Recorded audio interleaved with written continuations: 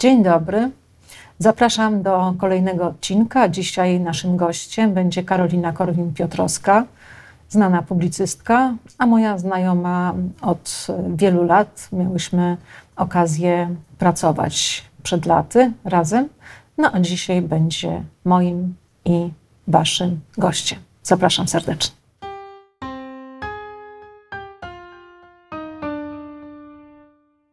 Dzień dobry, Karolina. No, dzień dobry. Trudno jest mi zachować powagę, przepraszam, ale będę, będę, jesteśmy dzisiaj poważne czy niepoważne? No słuchaj, no to zobaczymy. No myślę, że różne, różne momenty. O la la.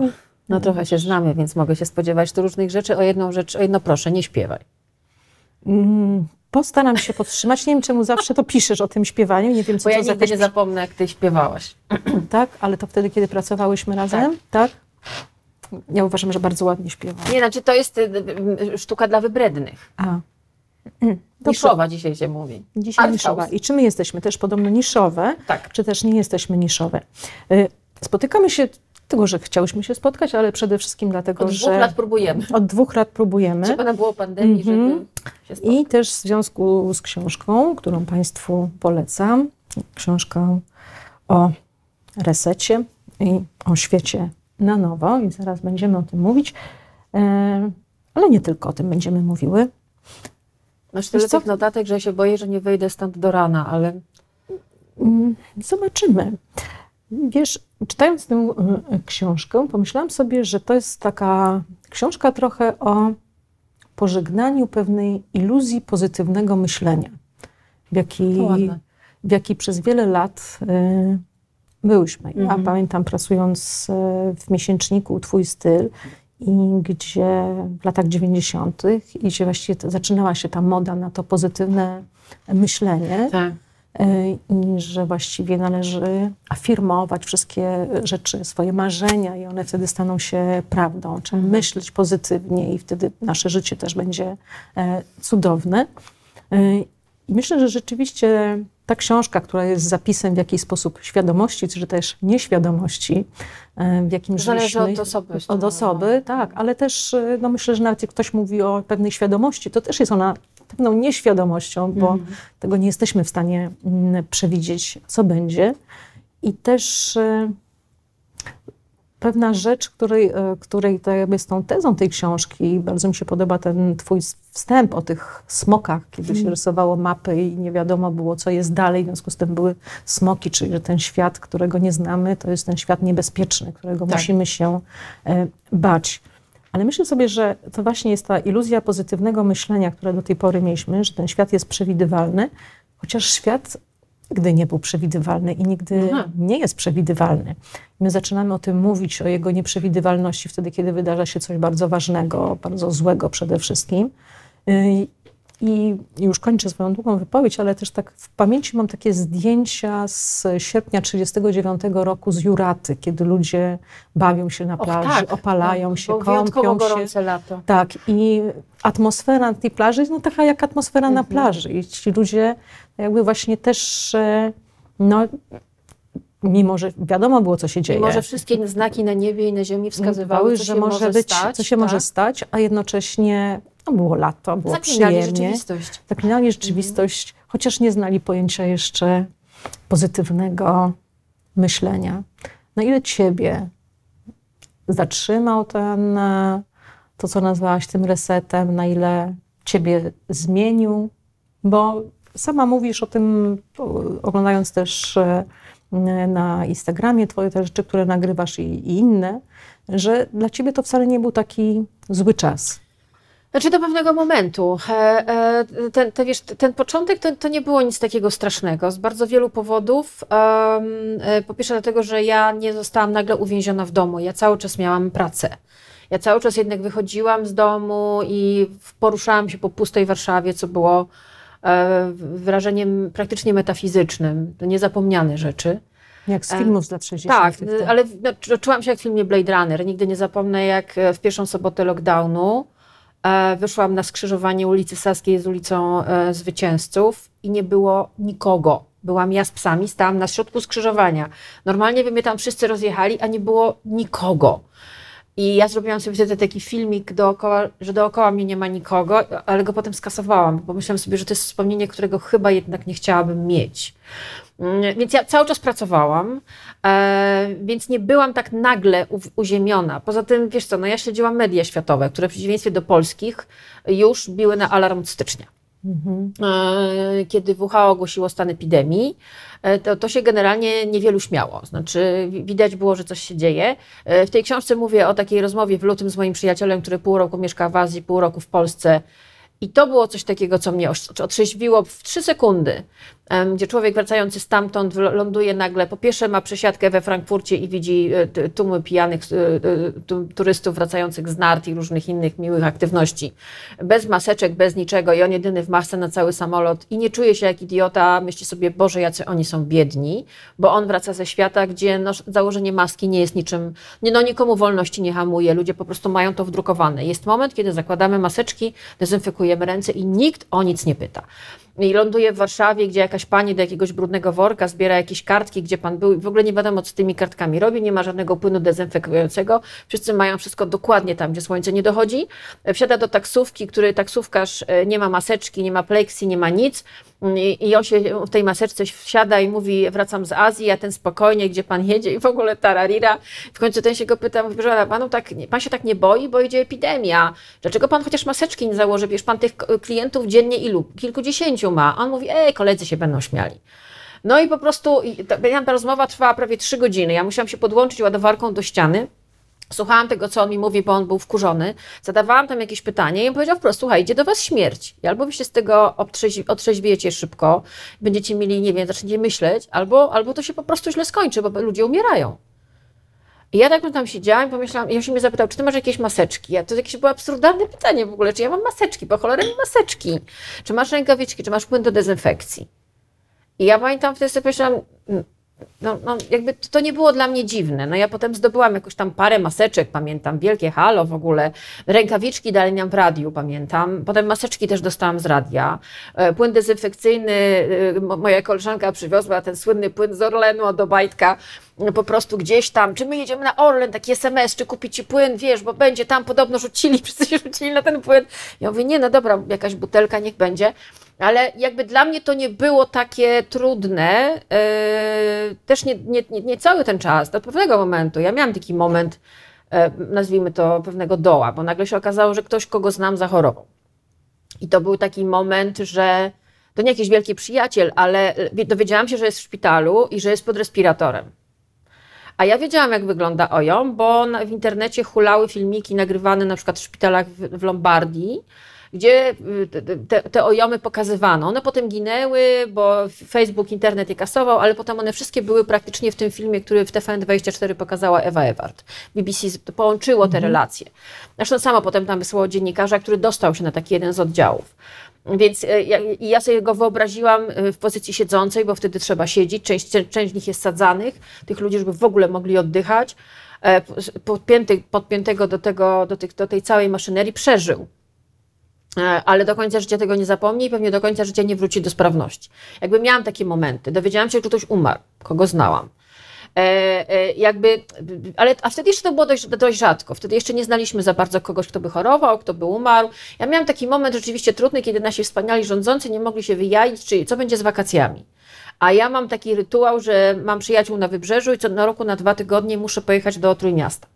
I tak siedziałam, pamiętam, to był kompletny dół po prostu przez parę godzin na zasadzie, bo oni nie umieli powiedzieć, a powiemy, nie powiemy, na zasadzie jak to oni, prawda? No nie wiedzieli przede wszystkim. No nie wiedzieli przede wszystkim, bo ustalmy, wtedy naprawdę nikt nic nie, nie wiedział, a oni nie, nie, umieją dobrze ściemniać. To też trzeba przyznać, oni w ściemę akurat tu są słabi. E, I ja się wtedy wkurzyłam i miałam taki moment no, załamania, że ktoś mi zabierze wakacje, że już mi zabrano tyle rzeczy, że nie mogę iść do kina, do teatru, wielu rzeczy nie mogę zrobić, nie mogę się spotkać ze znajomymi. Nagle ja, nie knajpowa, zamarzyłam, żeby pójść do knajpy. No wiesz, no, chcesz zrobić to, czego ci zabraniają, ale mówię, wakacji nie ma bata. I pamiętam, zamówiłam to, bo ja tam wynajmuję mieszkanie i mówię, dobra, wynajmę, wezmę, wsiądę w samochód, ładuję psy i jadę, choćby mi zabronili, to sobie załatwię jakieś lewe papiery. Nie wiem, już miałam wyobrażenie, że wiesz, jak druga wojna, ja tutaj po prostu na nielegalu. Okazało się, że puścili te wakacje że mogłam normalnie pojechać, ale wiesz, miałam taki moment, że cokolwiek by mi postawili, jaką tamę, z jakiego betonu, to ja bym ją przeszła, po prostu nie ma takiej opcji.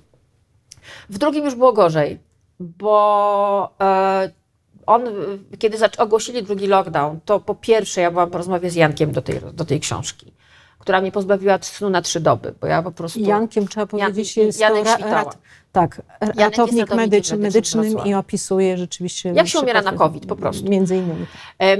Ale poza tym ja już miałam, to był taki moment, że naprawdę się bałam otworzyć Messengera, bo się dowiadywałam codziennie, że ktoś z moich znajomych, często bardzo bliskich, jest chory. Albo ma, jest na kwarantannie. Ktoś jest w szpitalu, Jedne rodzice mojej koleżanki zmarli w, w, w, na przestrzeni 24 godzin. Po prostu jak, i takich historii było coraz więcej. Tak? E, no i te historie ratowników, lekarzy, pielęgniarek, którzy już naprawdę nie mieli siły. I wtedy rozmawiałam z Jankiem e, i muszę przyznać, to, to było takie... No to była taka rozmowa, która cię po prostu rozwala. E, I, I jak już zaczął się ten drugi lockdown, o którym mówimy, że on już się zaczyna, no to już było tak, że ja wiedziałam, że to jest coraz bliżej. E, ktoś w radiu chorował, ja byłam, zaczęłam, musiałam, byłam testowana raz, potem drugi, mm, bo się okazało, że mogłam mieć kontakt, okazało się, że na szczęście nic, ale wiesz, już wiem, co to znaczy czekać na wynik testu i mieć wszystkie objawy w ciągu pół godziny i po prostu uspokajać się wewnętrznie na zasadzie spokojnie. To jest tylko twoja histeria. To, że idziesz na test, nie znaczy, że jesteś chora. Uspokój się, kobito, nie umrzesz. Ale wiesz, przerobiłam to. Jakby ja, y, ja potrafię już teraz zapanować nad swoimi emocjami. Naprawdę bardzo dobrze, ale to, to jest nic w porównaniu do tego, że dostajesz telefon, Karolina, jest taka sprawa, musisz się stestować. No bo jest tak i tak i istnieje niebezpieczeństwo, że mogłaś mieć kontakt. Testujemy po prostu wszystkich. Musimy, musimy, chcemy być fair. I ja to już przerobiłam, więc ten drugi już był taki, no, taki sobie.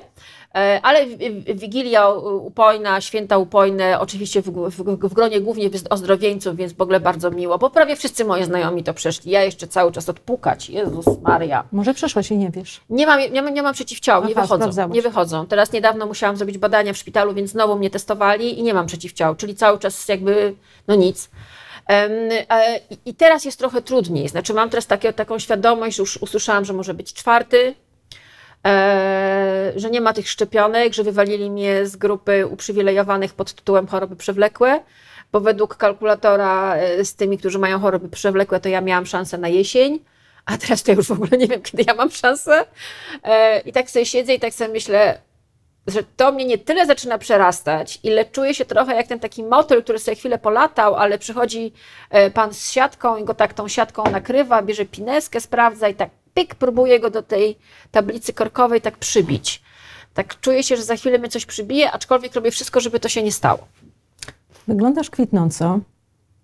E, Bo założyłam dobry zielony kolor i tak. wiem, że jest dobry w kamerze. Wiem to przez tą panią, która mnie nauczyła różnych rzeczy. O tym, jak się ubrać na przykład. No ale pamiętam naszą rozmowę, do której sięgnęłam, naszą rozmowę jeszcze w moim poprzednim programie A. bez maski. Mhm. I tam siedziałyśmy w, w szarych szmatach oba, to było modne wtedy, więc, tak. więc bardzo było to inaczej. Ja jakoś ciągle do, do kolorów się nie mogę prze, przekonać, ale widzę ciebie, że coraz więcej ja wtedy byłam bardzo, bardzo, myślę, innym człowiekiem. Znaczy, powiem przede wszystkim, zaczynałam być bardzo zmęczona i nie zdawałam sobie sprawy dlaczego. No tak, wtedy też mówiłaś, że o jakiejś zmianie, a zresztą Państwu link do tej naszej rozmowy, która tam w trzech częściach Jezu, co za była, tak mowa, tak, przekażę, ale powiedziałaś, że jesteś innym człowiekiem. Co to znaczy? E, wiesz co, no w, od tamtej rozmowy parę rzeczy się w moim życiu wydarzyło. Między innymi spaliło mi się mieszkanie. Ze zwierzętami. E, ze zwierzętami i straciłam dorobek y, praktycznie wszystkiego, co zdobyłam, a nikt mi niczego nie dał, musiałam to wypracować, więc to też było trochę trudne. E, zetknęłam się zarówno z ludzką podłością, jak i cudownymi reakcjami. Zachorowałam nie będę mówić na co, ale na pewno y, diagnoza choroby, z której nigdy nie wyjdę i którą będę miała całe mhm. życie, tylko muszę ją kontrolować. Nie jest fajną rzeczą dla kogoś, kto ponad wszystko ceni sobie życie na własnych warunkach. Nagle przychodzi ktoś i ci daje na przykład tablicę z indeksem glikemicznym i mówi to, to, to, to. No, nie masz wyjścia. E, y, poza tym poszłam na terapię. Mm, bo... Ale to niedawno w sumie bardzo niedawno, aczkolwiek nosiłam się z tym od jakiegoś roku już, tak ten, ale musiałam po prostu w 2019 w grudniu, wychodząc z, z radia mm, e, do domu w piątek przed dwutygodniową przerwą świąteczną, wsiadam do taksówki i zaczęłam wyć. Po prostu lało się ze mnie. Jak to śpiewała pięknie Edyta Bartosiewicz, wodospady łez. Um, ja byłam tak zmęczona, że ja nie wiedziałam, czy ja będę miała siłę wysiąść z tej taksówki. I taksówkarz pomógł mi wysiąść, bo ja byłam, jakby ze mnie ktoś naprawdę spuścił całe powietrze. Czułam się jak taka dmuchana zabawka na plaży, zostawiona, niechciana i potwornie wymęczona. E, I miałam tydzień, no, czego już teraz wiem, mogę to nazwać epizod depresyjny. Mm, no, ale myślałam, że sobie jakoś z tym poradzę, e, ale potem w okolicach połowy stycznia pizgło mnie na trzy dni tak, że już wiedziałam, że to nie jest zwykłe zmęczenie, to nie jest zwykła normalna reakcja w takim znaczeniu, że to, mi się to do tej pory nie zdarzało. I że może ja, która byłam specjalistką w wysyłaniu innych na terapię, sama ich nawet często zawoziłam, i od uzależnień, i, od, do, i do psychoterapeutów, i byłam mistrzynią w tym i naprawdę lista osób, które udało mi się uratować, czym się naprawdę teraz mogę chwalić, jest długa i cieszę się, że i nawet potem wszyscy do mnie dzwonili, mówią, a widzisz, tutaj innych zawoziłaś, a teraz no wreszcie. Stwierdziłam, że no, to jest taki moment, że chyba coś pykło, znaczy, że, że może e, czas jest sobie powiedzieć, że ja, która słyszałam od moich rodziców e, całe swoje życie z nimi, musisz sobie radzić, i sobie radziłam, bo ja zostałam bardzo ładnie zaprogramowana na to, żeby sobie radzić. I radziłam sobie świetnie. E, w pewnym momencie muszę stanąć w prawdzie i powiedzieć: Nie radzę sobie.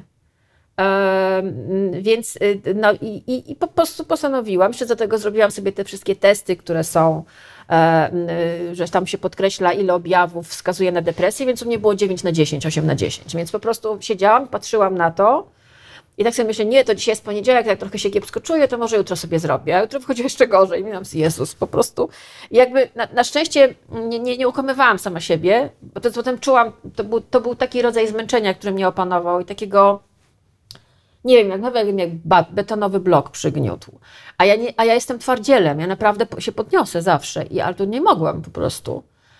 No i postanowiłam znaleźć sobie terapeutę. Zrobiłam to bardzo szybko. Jestem zadaniowcem, wiesz, czyli u mnie to jest okej. Okay. Przeczytałam już te mądre książki o depresji. Wygląda na to, że jestem blisko krok i że generalnie trzeba się tym zająć. No to teraz się leczymy. No ja nie jestem z tych, co będą to odkładali adakta. Na szczęście. E, więc i poszłam na terapię i to się też stało przed samą pandemią e, i bardzo intensywnie się za to zabrałam i szłam na pierwszą terapię, jak szła na bal mm, po prostu. Ze szczęścia ja chodziłam po suficie z radości. Nareszcie coś dla siebie. Dokładnie. Znaczy, tak absolutnie w 100% zaś dla siebie, ponieważ na pierwszej terapii usłyszałam, to mogę powiedzieć głośno, e, bo siedziałyśmy długo, musiałyśmy się zaprzyjaźnić, ja musiałam nam zaprzyjaźnić. Znaczy, ja, ja gadałam, tak? To jest ten moment, że gadasz, gadasz, gadasz, gadasz, żebyście coś wyrzucasz. I, bo ja terapeutka mi słuchała, tak, zresztą świetna jest. E, I kiwała go, kiwała i mówi, jedno widzę, pani jest chorobliwie nadempatyczna. Mm. Ja tak. Ty, to E, więc, że, że, że mi się wydawało, że ja dużo robię dla siebie, a się okazywało, że ja dla siebie prawie nic nie robiłam przez całe moje dorosłe życie. Że w ogóle nawet w dzieciństwie to, e, e, że, że i nagle zrobiłam coś dla siebie rzeczywiście i po prostu uwielbiam to i, i, i to, że wreszcie robię coś dla siebie i że Zresztą ja tego bardzo chciałam i po prostu mi się to strasznie podoba. Jestem w ogóle w euforii. Wszyscy mi mówią, dobra, spokojnie, będziesz miała moment taki, że się załamiesz, ale ja już miałam takie momenty, że się załamywałam. Ja już ja miałam filmowe sceny z zalewaniem się łzami. Ja już wszystko już robiłam w tej terapii, mm, ale no rzeczywiście robię dla siebie i widzę tego efekt e, i nawet ludzie, którzy mnie znają e, bardzo dobrze, mamy, jakby to nazywam ich moimi przyjaciółmi, prawie rodziną, mówią, że jest totalna zmiana. Znaczy, że już po pierwszym spotkaniu ja się podobno zaczęłam świecić. Ja mówię, kurde, nie, słuchajcie, uspokójcie się, ale miałam takie poczucie, że po tylu latach chowania tylu rzeczy i nie mówienia o nich, bo ja też, też jestem nauczona jestem też, okazało się bardzo, ja wiem, że jestem introwertyczna do bólu i że ja nie mówię. No, ty ale zasłonę dymną ze swoim. Za, zrobiłam tę zasłonę dymną i było mówisz, tak, tak, tak dużo mówię, ale tak naprawdę o sobie nie mówię w ogóle, bo, bo mówię mhm. poprzez przykłady i jak trafiasz na terapeutę dobrego, a ja wyraźnie trafiłam, to się natychmiast zorientowała, o co chodzi tak naprawdę, że ja opowiadam o sobie y, przez przykład, y, przykłady innych albo w ogóle zaczęła analizować moje reakcje na różne rzeczy, stąd ta nadempatia.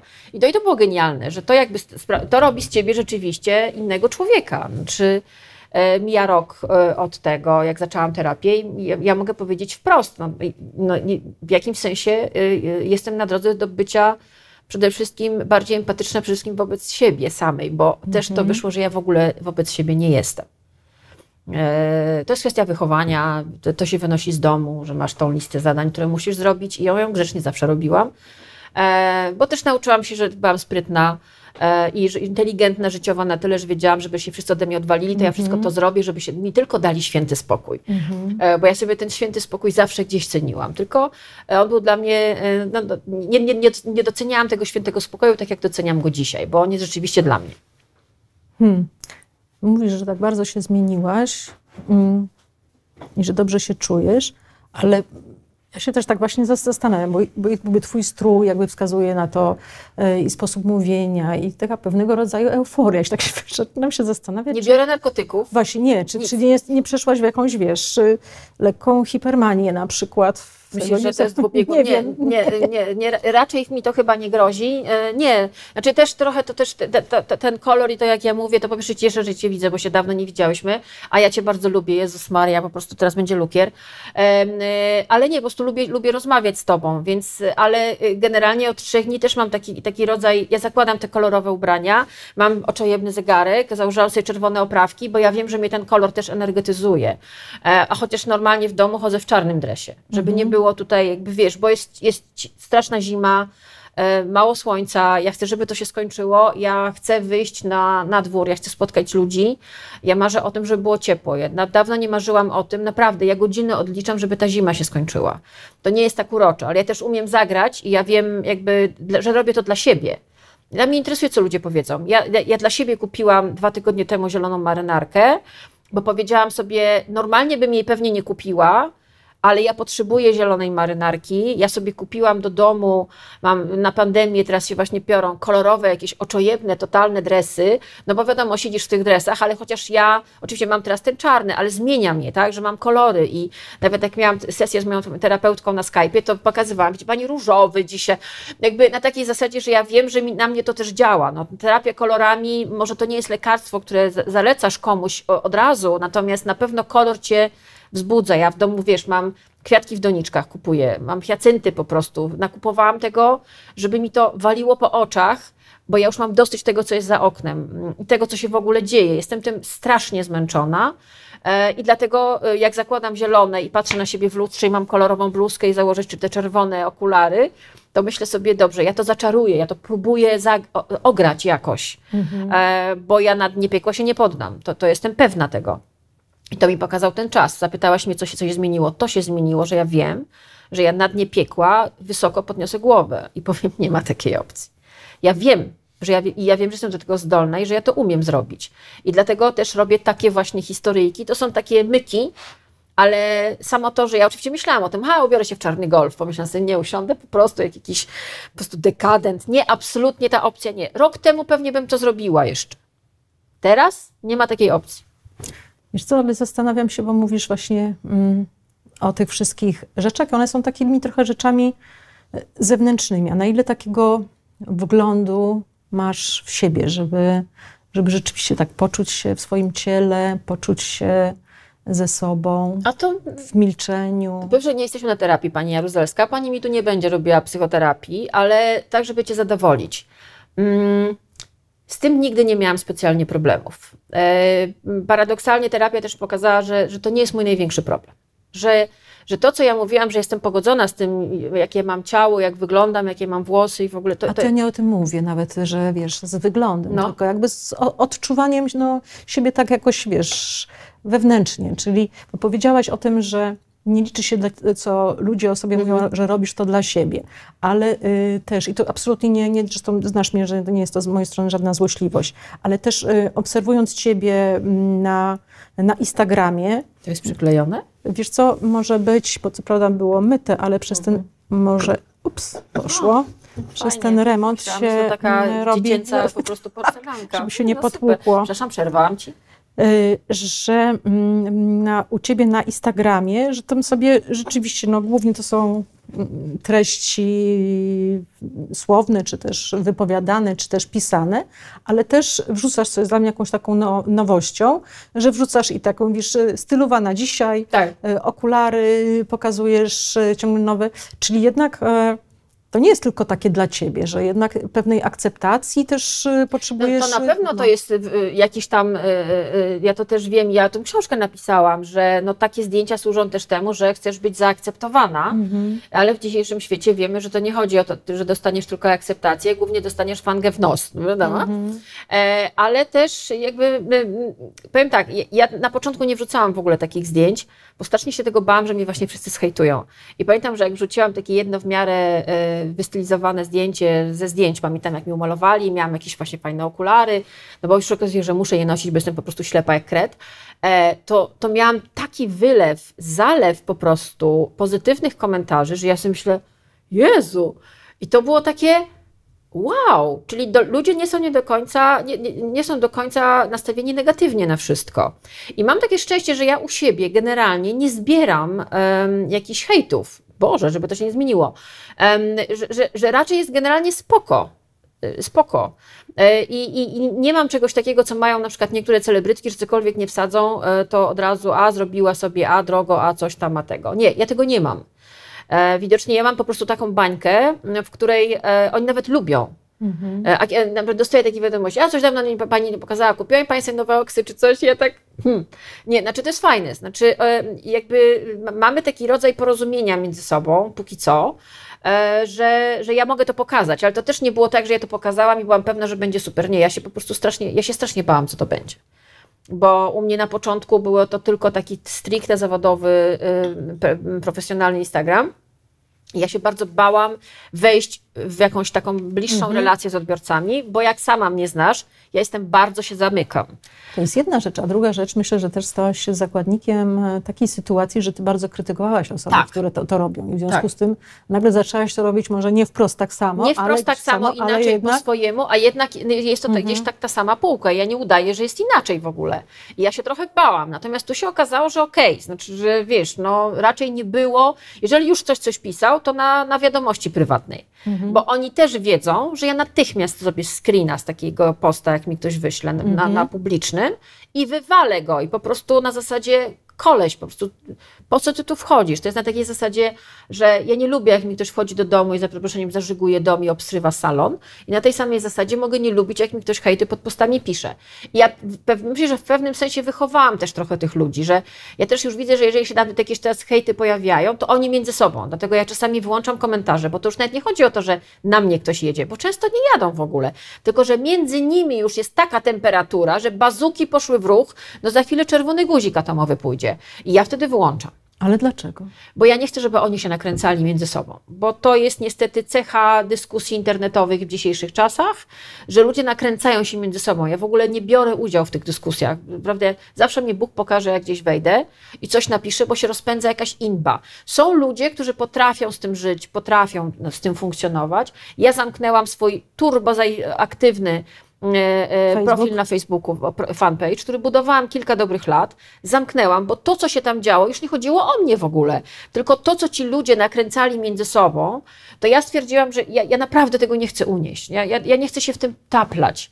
E, ja na Facebooka wchodzę wyłącznie, żeby się tam dogadać ze znajomymi, nie wiem, y, y, traktuję go jako agregator linków, które są mi potrzebne do pracy, do radia albo do, do, do, do, do, do kanału Plus. Poza tym ja tam nie, prawie nie zamieszczam żadnych prywatnych treści, poza zdjęciami psów, gdzie taguję właścicielkę hodowli, z której są moje psy, żeby wiedziała, jak się pieski chowają. Poza tym tam nie ma mojej prywatności, bo ja też jakby mam świadomość tego, że ja nie chcę, żeby to gdzieś tam, nie wiem, wyciekało. Natomiast oczywiście ja widzę, co się dzieje w internecie i to jest kwestia, myślę, że właśnie ostatniego roku, kiedy zaczęła się pandemia i kiedy na początku było urocze, bo ludzie pokazywali, jak ćwiczą jogę, pieką chlebek bananowy, tu ciasteczko, tu wychodzę na balkon, fantastycznie mam tyle wolnego mm -hmm. czasu, jak wasz dzień, oglądam kolejny odcinek serialu Bosko, a po tygodniu zaczęła się taka jazda. I ja miałam, ja widziałam, co się działo na tych profilach, że od wielkiej miłości, Boże, mamy wolne, wyszło, że po prostu nienawidzimy się, że na siebie wszyscy wrzeszczą. I ja stwierdziłam, że chcę być jak najdalej od tego. Może to też jest kwestia terapii, e, że jakby ja mam świadomość tego, że ja się przejmuję tym, co piszą ludzie, niekoniecznie o mnie. Że ja w ogóle się przejmuję tym. E, I że mnie to dotyka często osobiście, chociaż mnie nie dotyczy. E, może to też jest to, że ja czułam, że jest, moje, że jest obciążenie jakieś dla mnie i postanowiłam się tego po prostu pozbyć. I z bólem tam było prawie 200 tysięcy ludzi, totalnie aktywny profil, naprawdę. Ja miałam jakieś totalne propozycje reklamowe, bo widać, bo jest niesłychanie aktywny, ale ja stwierdziłam, nie ma takiej opcji. Ja dla też dobra, dla, dla, dla dobra tych ludzi ja ich odetnę, bo oni tam po prostu byli tacy zawodnicy, którzy pod fałszywymi nikami, już potem, bo ich poblokowałam, wchodzili i rozpędzali imbę. I ja widziałam, że tam za tym stoi pewnie jakaś tragedia człowieka, może jakaś samotność, jakaś coś, ale też nie jestem terapeutą tych ludzi. Ja mogę to zrobić dla ich dobra i dla swojego dobra, bo to jest jakby moja przestrzeń, zamknąć ją. Powiedzieć nie, koniec, do widzenia. Po prostu nie będziemy się tak bawili, a też wszyscy odpocznijmy. Ja tu chcę w moim, w moim kosmosie, w mojej bańce wprowadzam moje zasady i ja chcę odpocząć. No i to jest, e, tak zbudowałaś ten swój mm, ekosystem, tylko też się tak zastanawiam, czy to nie jest też takie, wiesz, jak mówiłyśmy o tym, o tej iluzji mm, pozytywnego myślenia, czy to też nie jest jakieś takie odcięcie się od rzeczywistości? Y, wiesz, no to ja ci powiem czy... od razu, w mojej bańce mam i prawaków, i lewaków, i katoli, i e, apostatów, mam wszystkich. Mhm. Znaczy ja się nie zamykam. Nie, e, oglądałam film Social Dilemma, gdzie jest bardzo jasno powiedziane, nie zamykajcie się w swoich bańkach, bo to jest właśnie algorytm tak was ustawia, żebyście się w bańkach zamykali. Ja mam, tą, ja mam to, że ja mogę nie uczestniczyć w dyskusjach, ale ja podczytuję. Mhm. E, I ja wiem, co się dzieje. To wymień mi e, ulubionych e, polityków prawicy i publicystów prawicowych. No, w Warzecha, mhm. Ziemkiewicz, chociażby. Mhm. Dobrze. No, podczytuję, po... jak śledzę. Ja nie, nie, Ziemkiewicz mnie zablokował, ale Warzecha, e, Warzechę śledzę na, na Twitterze i Twitter na przykład, który jest szambem totalnym tam po prostu puszczenie jednego posta to masz po prostu 400 tysięcy Ale jest najciekawszy moim Ale jest bardzo ciekawy, dlatego ja się tam nie udzielam e, aktywnie, natomiast Aha. podglądam wszystkie bańki. Mhm. Tam ja po prostu możesz dwa dni nie, nie, nie włączać Twittera, włączasz i nagle masz sprawozdanie z dwóch dni w Polsce. Mhm. Bo świata tam nie ma, nie, tam jest polskocentryzm, Polska królem Polski. I ja tam podczytuję, no bo wiesz, wiesz, prowadzę poranki w radiu. Ja muszę wiedzieć mniej więcej, co się dzieje. Ja mogę się czasem odciąć, ale nie mhm. mogę zupełnie, bo my się odnosimy do pewnych rzeczy, którymi mhm. żyje, żyje Polska. Polska. No trudno, trudno tego nie robić, jak się żyje w pięknym kraju nad Wisłą. Więc i, i wtedy wchodzisz na Twittera i wiesz wszystko. Mhm. Masz linki do najważniejszych wywiadów, wpadki, wszystkie screeny są porobione, po prostu zebrane będą czyny i rozmowy i to tam jest po prostu i po prawej i po lewej stronie i naparzanki, i przeproszenia, i wyzwiska, i wszystko jest. Albo wyciągane tweety, które nie starzeją się i po prostu wyciągane po jakichś tam po iluś latach, po 10 latach komuś tam wytkną coś. Ja sobie myślę, Jezu, Boże, jak dobrze, że ja nie jestem politykiem ani komentatorem politycznym, ja bym zwariowała. To jest jak po prostu pole minowe. Ale zobacz, bardzo się zaangażowałaś jednak, jeśli chodzi o poglądy polityczne. Kiedyś e, one tak właściwie w naszych rozmowach one się nie pojawiały. No bo nie te, te, było te takich czasów. Polityka nam weszła wszędzie, wiesz. Mm -hmm. Więc no, no, no, zaangażowałam się o tyle, że ewidentnie jestem pojmowana za lewaka, mm -hmm. aczkolwiek kiedy zrobiłam wywiad z księdzem i byłam nie dość lewacka, to mi zarzucano, że jestem katolem. Chociaż katolem i mówili, nie, to ty już teraz jesteś lewak i nie wolno zadawać takich pytań, więc ja po prostu, ja w jakimś takim dziwnym szpagacie rozkroku siedzę, bo i myślę, że wielu ludzi w Polsce tak ma, że mamy jakieś tam łatki poprzyszywane, ale nie pasujemy tak naprawdę do żadnej. Jesteś feministką teraz? Tak, bo jestem człowiekiem. Y, tu mi się bardzo wyraźnie poglądy sprecyzowały. No Uważam, że każdy, kto określa siebie człowiekiem, nazywa się, powinien się nazywać feministą, y, bo, bo kobiety są, człowiek, bo są ludźmi po prostu. No ale co ty rozumiesz przez to? No bo y, powiedzmy ktoś, kto, kto uważa, że nie jest feministą, a to znaczy nie jest człowiekiem, bo nie bardzo jakby taka logika była? Nie, no ja uważam, ja to stosuję do siebie. A co mhm. robią inni, to, to mnie tak specjalnie nie interesuje. Ja e, e, uważam, że I zresztą odrobiłam też lekcje, poczytałam, akurat spotkałam na swojej drodze parę świetnych babek, które mnie -hmm. dokształciły w tej dziedzinie. E, otworzyłam, rozmawiasz też od, od, roz, Rozmawiam też, też tutaj z Nataszą Kosakowską-Berezecką, z Sylwią Hutnik e, i tutaj jakby ja też odrobiłam te lekcje, bo, bo jakby ja wyczułam, co się dzieje. Miałam kontakty z młodzieżą i widziałam, że narasta pewien bunt, pewna świadomość że ja, nie, nie ma, ja się nigdy nie obrażam na świat, na świat, w którym żyję. Ja staram się go poznać. I odrobiłam, to przyznam, e, tak jak mówię komuś, że się trzeba doedukować, to nie mówię, na, nie rzucam słów na wiatr, ja się też do, do, doedukowałam. Wiem, że kiedyś mogłam popełniać pewne błędy i robić różne głupoty, natomiast teraz mam świadomość tego, że moim zdaniem feminizm to jest po prostu coś, bez czego nie ma dzisiejszego świata e, i walka o równe prawa kobiet, na wszelkich możliwych poziomach, to jest coś, co jest zadaniem po prostu każdego z nas. E, I, I, musimy to robić, bo jeżeli przestaniemy to robić w imię sama nie wiem czego, to, to, się, to ten świat się po prostu zawali. E, I wierzę w to, że rzeczywiście kobiety oca ocalą świat, aczkolwiek jestem przeciwna poprawności politycznej, mm, takiej, że jak jesteśmy kobietami, to mamy solidarność jajników już nigdy się nie będziemy krytykować, nawet jak jest najgłupsza, ale ma jajniki, to jest super. Nie, znaczy tu jestem przeciwna takiemu podejściu. Nawet nie ma jajników, ale się uważa za kobietę. Ale się uważa, znaczy nie, jak ktoś robi głupoty, to bez względu na płeć głupota jest bardzo demokratyczna i uderza obie płcie, wszystkie płcie, bo jest, jest ich więcej, jak już wiemy. Też już wiem, że są jest więcej niż dwie płcie. Nauczyłam się tego, doczytałam, e, świat pędzi, świat się zmienia, nagle się odkrywa. Ja pamiętam, jak byłam dzieckiem, myślałam... Ale czekaj, przeczytałaś i już uwierzyłaś, że, że jest więcej niż dwie płcie? Bo wiem, że też broniłaś... Ja poznałam osobę transseksualną parę mhm. lat temu, zupełnie przypadkiem. Ja myślałam, że to jest dziewczyna. Mhm. Że, że to jest kobieta. A to, był, to była osoba transseksualna, mhm. kiedyś urodziła się jako mężczyzna. I pogadałam z nią tak po ludzku, wiesz, na zasadzie trochę to było parę lat temu, ja, ja trochę się wgapiałam, bo mhm. oczywiście jak już wiesz, co jest grane, to nagle widzisz, no tak, rzeczywiście może trochę większe ręce, może inna budowa ciała, ale są kobiety o takiej tak zwanej chłopięcej budowie, budowie ciała, więc o co chodzi?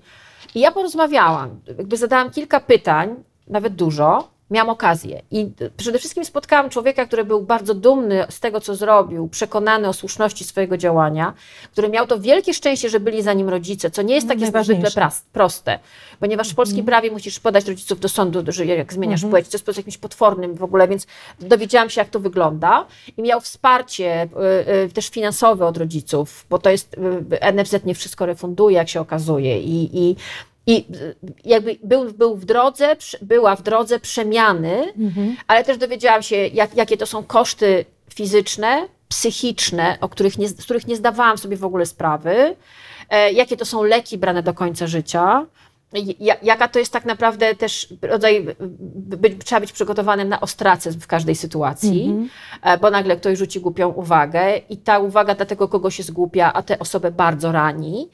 I ja po prostu wtedy pamiętam, miałam taki moment, nie wiem, że oświecenia, ale miałam, o, tak jak siedzę z tobą, tak siedziałam z kimś, to urodził się jakiś chłopak, a, a siedziała przede mną kobieta. I zrozumiałam, że takich osób jest bardzo dużo. Taki przykład, jak byłam dzieckiem, ze zdziwieniem patrzyłam na ludzi na wózkach na ulicy. W latach 70. i 80. widok człowieka na wózku był rzadkością. Nie dlatego, że ich nie było, tylko oni byli uwięzieni w domach.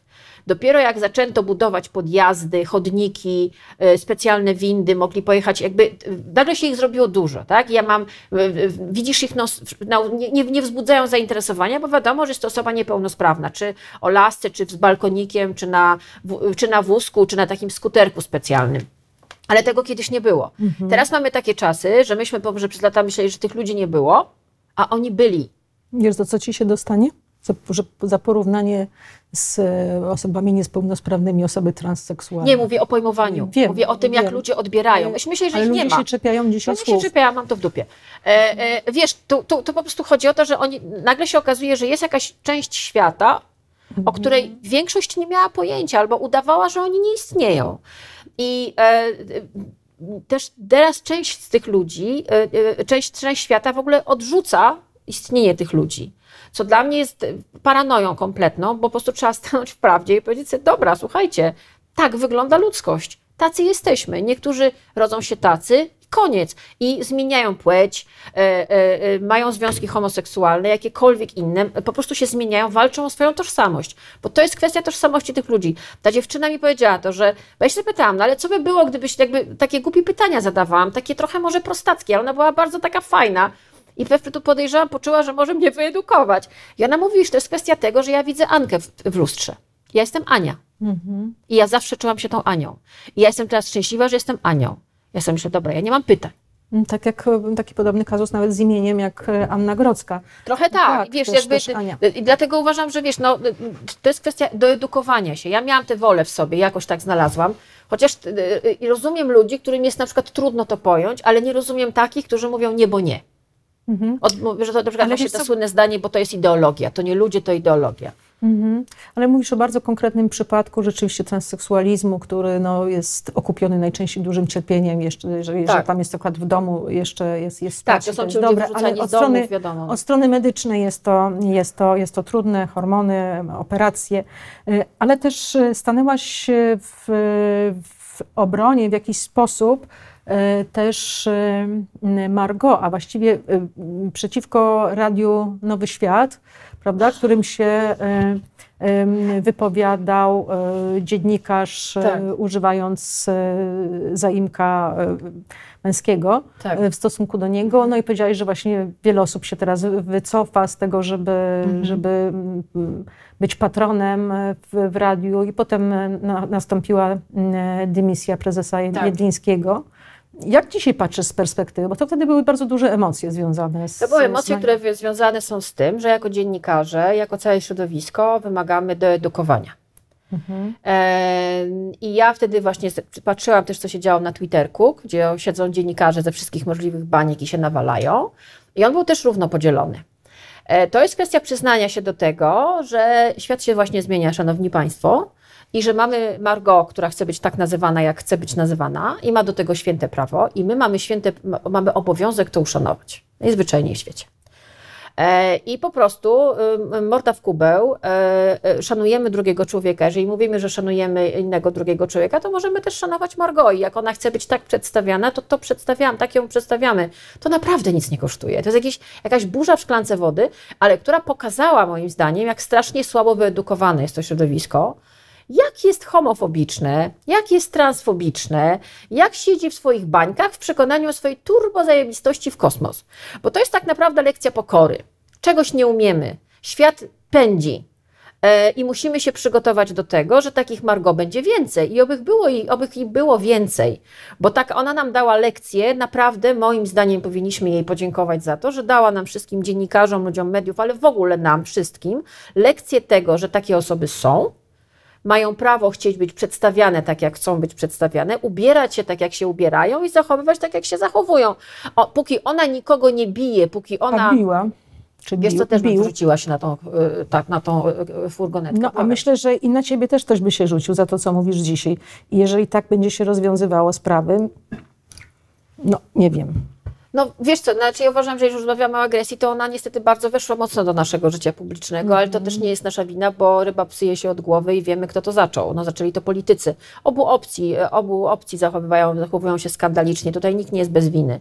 E, nie, ma, nie, ma, nie ma świętych aniołków, chociaż niektórzy chcieliby być tak postrzegani. Nie, nie, nie. Niestety to, jak ludzie się zachowują i to, jak ludzie mówią, wzięli przykład e, z góry, a kto jest najbardziej lansowanymi celebrytami w Polsce? Politycy, którzy są 24 godziny na dobę we wszystkich możliwych mediach i opowiadają banialuki, za które celebrytę podaliby do sądu, a oni są bezkarni, bo są politykami i mówią sobie, mamy mandat, suweren. No, proszę bardzo. No niestety tak to wygląda. Więc wiesz, ja, tak wracając do Margot, y, po, po tej całej aferze z nią, biorę to w cudzysłów, po tym dziwnym wywiadzie w Radiu Z, który ja uważam, że nie powinien powstać, e, Ja uważam, że był bardzo dobry. ja uważam, że był, że był napastliwy. Znaczy, wiesz co, bierzesz gościa do studia i nie pytasz go, i pytasz go o to, co ma w majtkach, pytasz go o to, co, z kim śpi. Tak, ale wiesz sobie, dlatego, Ale dlaczego? Że, dlatego, że tego, że ludzie nie rozumieją. Widzą chłopaka, który wygląda jak chłopak, zachowuje się jak chłopak e, i, i raz mówi o sobie w rodzaju żeńskim, raz Ale o postaw sobie się w na miejscu, tej, postaw się na miejscu Margo, idziesz do radia, e, wypuścili cię, e, e, jesteś bohaterką w masowej wyobraźni przez kilkadziesiąt No. godzin i pierwsze py- i pytania, jakie dostajesz są o to, z kim śpisz? Tak. Naprawdę chciałabyś dostać takie pytanie? Słuchaj, Uważasz, jeżeli- że to jest poważne?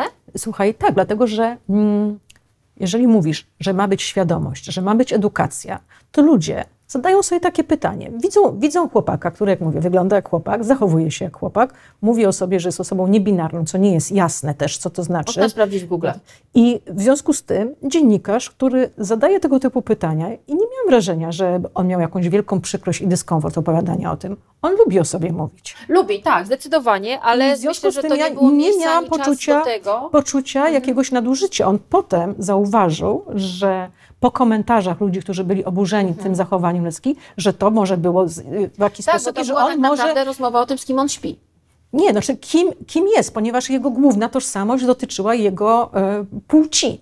W związku z tym próba wyjaśnienia przez e, redaktor Lubecką, no, kim jest i dlaczego, wyglądając jak chłopak, zachowując się jak chłopak, mówi o sobie, że jest osobą, jeszcze właśnie mówię, nie mówi o sobie, że jest, że jest, że jest kobietą, tylko że jest osobą niebinarną. Niebinarną. I, I co to znaczy? No i teraz przeciętny człowiek chciałby się dowiedzieć. I Ma się tego dowiadywać z porannego wywiadu w radiu, kiedy Oczywiście. No, nie, nie do końca mi się to, A tu się, się nie zgodzę. Wydaje o. mi się, że że, że ten wywiad pokazał, jak wiele jest do zrobienia w kwestii wyedukowania, doedukowania braci dziennikarskiej, bo ten świat się nie zmieni tylko dlatego, że będziemy udawali, że takich osób nie ma. Trzeba się po prostu doedukować, doczytać.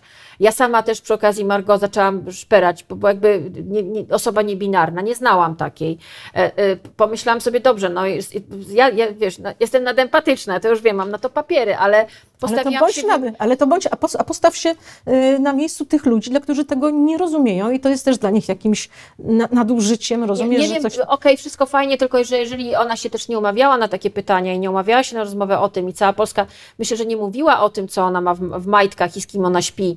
Sprawa dotyczyła e, tego e, więzienia, tego, tego, e, tej sytuacji na krakowskim przedmieściu, wstrząsającej dla mnie, która w ogóle pokazała przy okazji Margo wiele innych rzeczy dokoła. E, e, która była zaczynem no, manifestacji w Polsce, e, bo też nagle zobaczyliśmy, jak w ogóle państwo traktuje takich ludzi, w ogóle co państwo robi z młodymi ludźmi, którzy wychodzą protestować. Co dla mnie też było, jakby ona była zaczynem, jakby ona była takim lądem, który ktoś podpalił pod bombę i zobaczyliśmy, jak, jak wyglądają ulice polskich miast, jak się traktuje te dzieciaki, które wychodzą i myślę, że o tym powinna być ta rozmowa na takiej zasadzie, co tak naprawdę spowodowało się, spowodowało pojawienie się Margot. To mogłoby być pytanie, ale jako ostatnie. Ja miałam wrażenie, jak słuchałam tego wywiadu, bo posłuchałam go sobie dwa razy, mhm. że to był główny cel, cel dowiedzenia się. Takie trochę jak taka właśnie e, e, baba w sklepie drugiej babie coś opowiada. Mhm. To moim zdaniem tak nie powinno być, bo my to sprowadzamy tylko do tego, co ta, z kim ta dziewczyna śpi. A moim zdaniem to nie było najważniejsze w całej tej historii związanej z nią, z tym szokiem, który przeżyliśmy. Niektórzy z nas nas przeżyli, bo tu chodziło o coś znacznie więcej. Ja myślę, że ona w ogóle przy okazji jej pojawienia się dało nam wielką lekcję lekcję edukacyjną, z której mo możemy, mam nadzieję, dużo z nas coś wyjmie że się przestaniemy śmiać z niektórych zachowań, wyglądu, pewnych, pewnych rzeczy, które widzimy dokoła, których będzie coraz więcej, bo to jest tak jak z tymi niepełnosprawnymi na wózkach.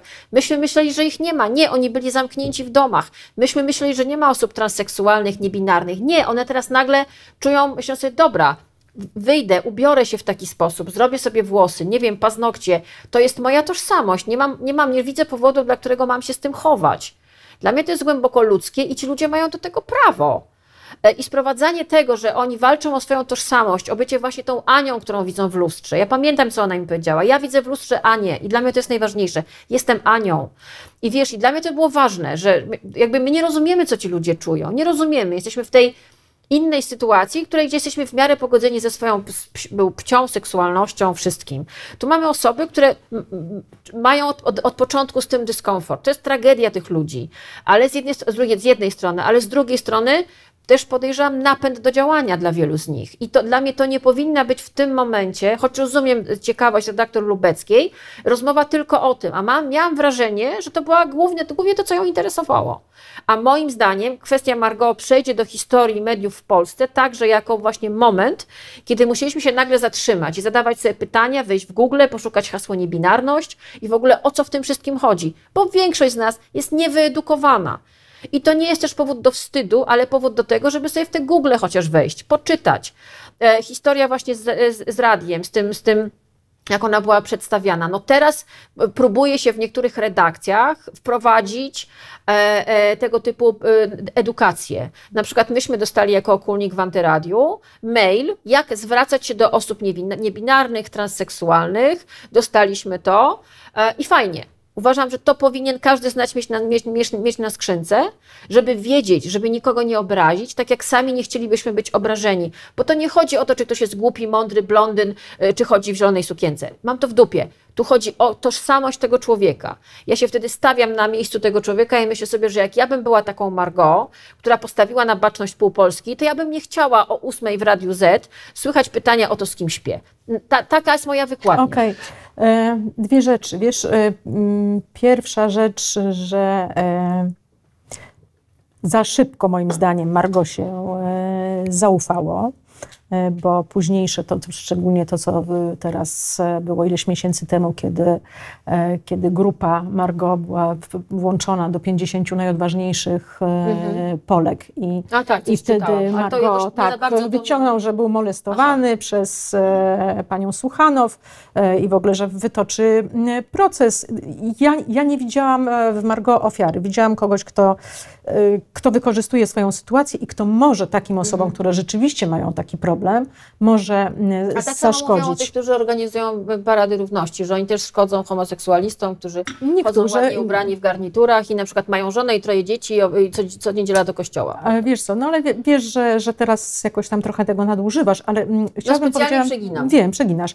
Yy, mówisz o tym, że, że cię denerwuje na początku rozmowy ta polityczna poprawność, czy poprawność polityczna, w sumie na jedno wychodzi, yy, a trochę też sama jakby o tym mówi, że co stosujesz. I teraz, gdzie jest ta granica między to um, culture cancel, Mhm. E, a, a tą poprawnością e, polityczną. To jest trudne, to jest I wiesz co, i teraz e, zobacz, bo ty się znasz, powiedziałabym, że to twoją taką najgłębszą wiedzą są, są filmy, prawda? A, wiem, od tego, prawda?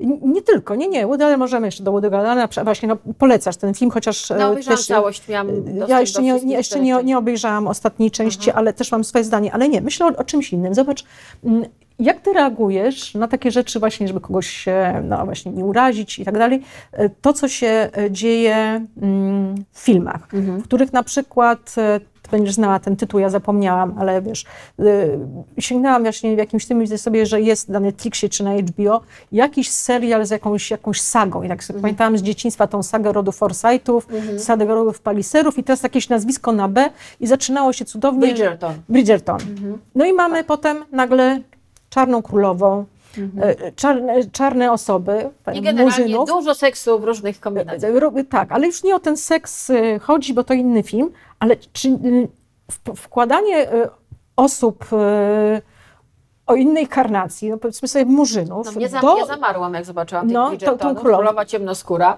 I teraz na ile wiesz, przekłamywanie właśnie w ramach tej, i teraz ja nie wiem, czy to może być e, ta poprawność polityczna, czy to właśnie e, culture e, cancel, też jeżeli mamy uczyć się, i rozumiem, taka jest definicja tego, że mamy pokazywać, nie, że mamy pokazać, że ci ludzie byli ciemiężeni mm. jako niewolnicy, no to myśmy oglądały serial Roots, tak, tak zwane, tak, i Kunta Kinte i tak dalej. No i oczywiście wszyscy bardzo współczuliśmy. E, Czy Amistad, tak, tak, tym, e, tym tak, tak, tak, wszystkim tym rzeczywiście czarnoskórym e, niewolnikom. Można też zrobić to tak, jak zrobił Tarantino jako jungle, prawda, trochę, trochę burleski, groteski w tym wszystkim, ale mhm. gdzieś jest jakieś no, pokazanie, że skądś ten człowiek się wziął.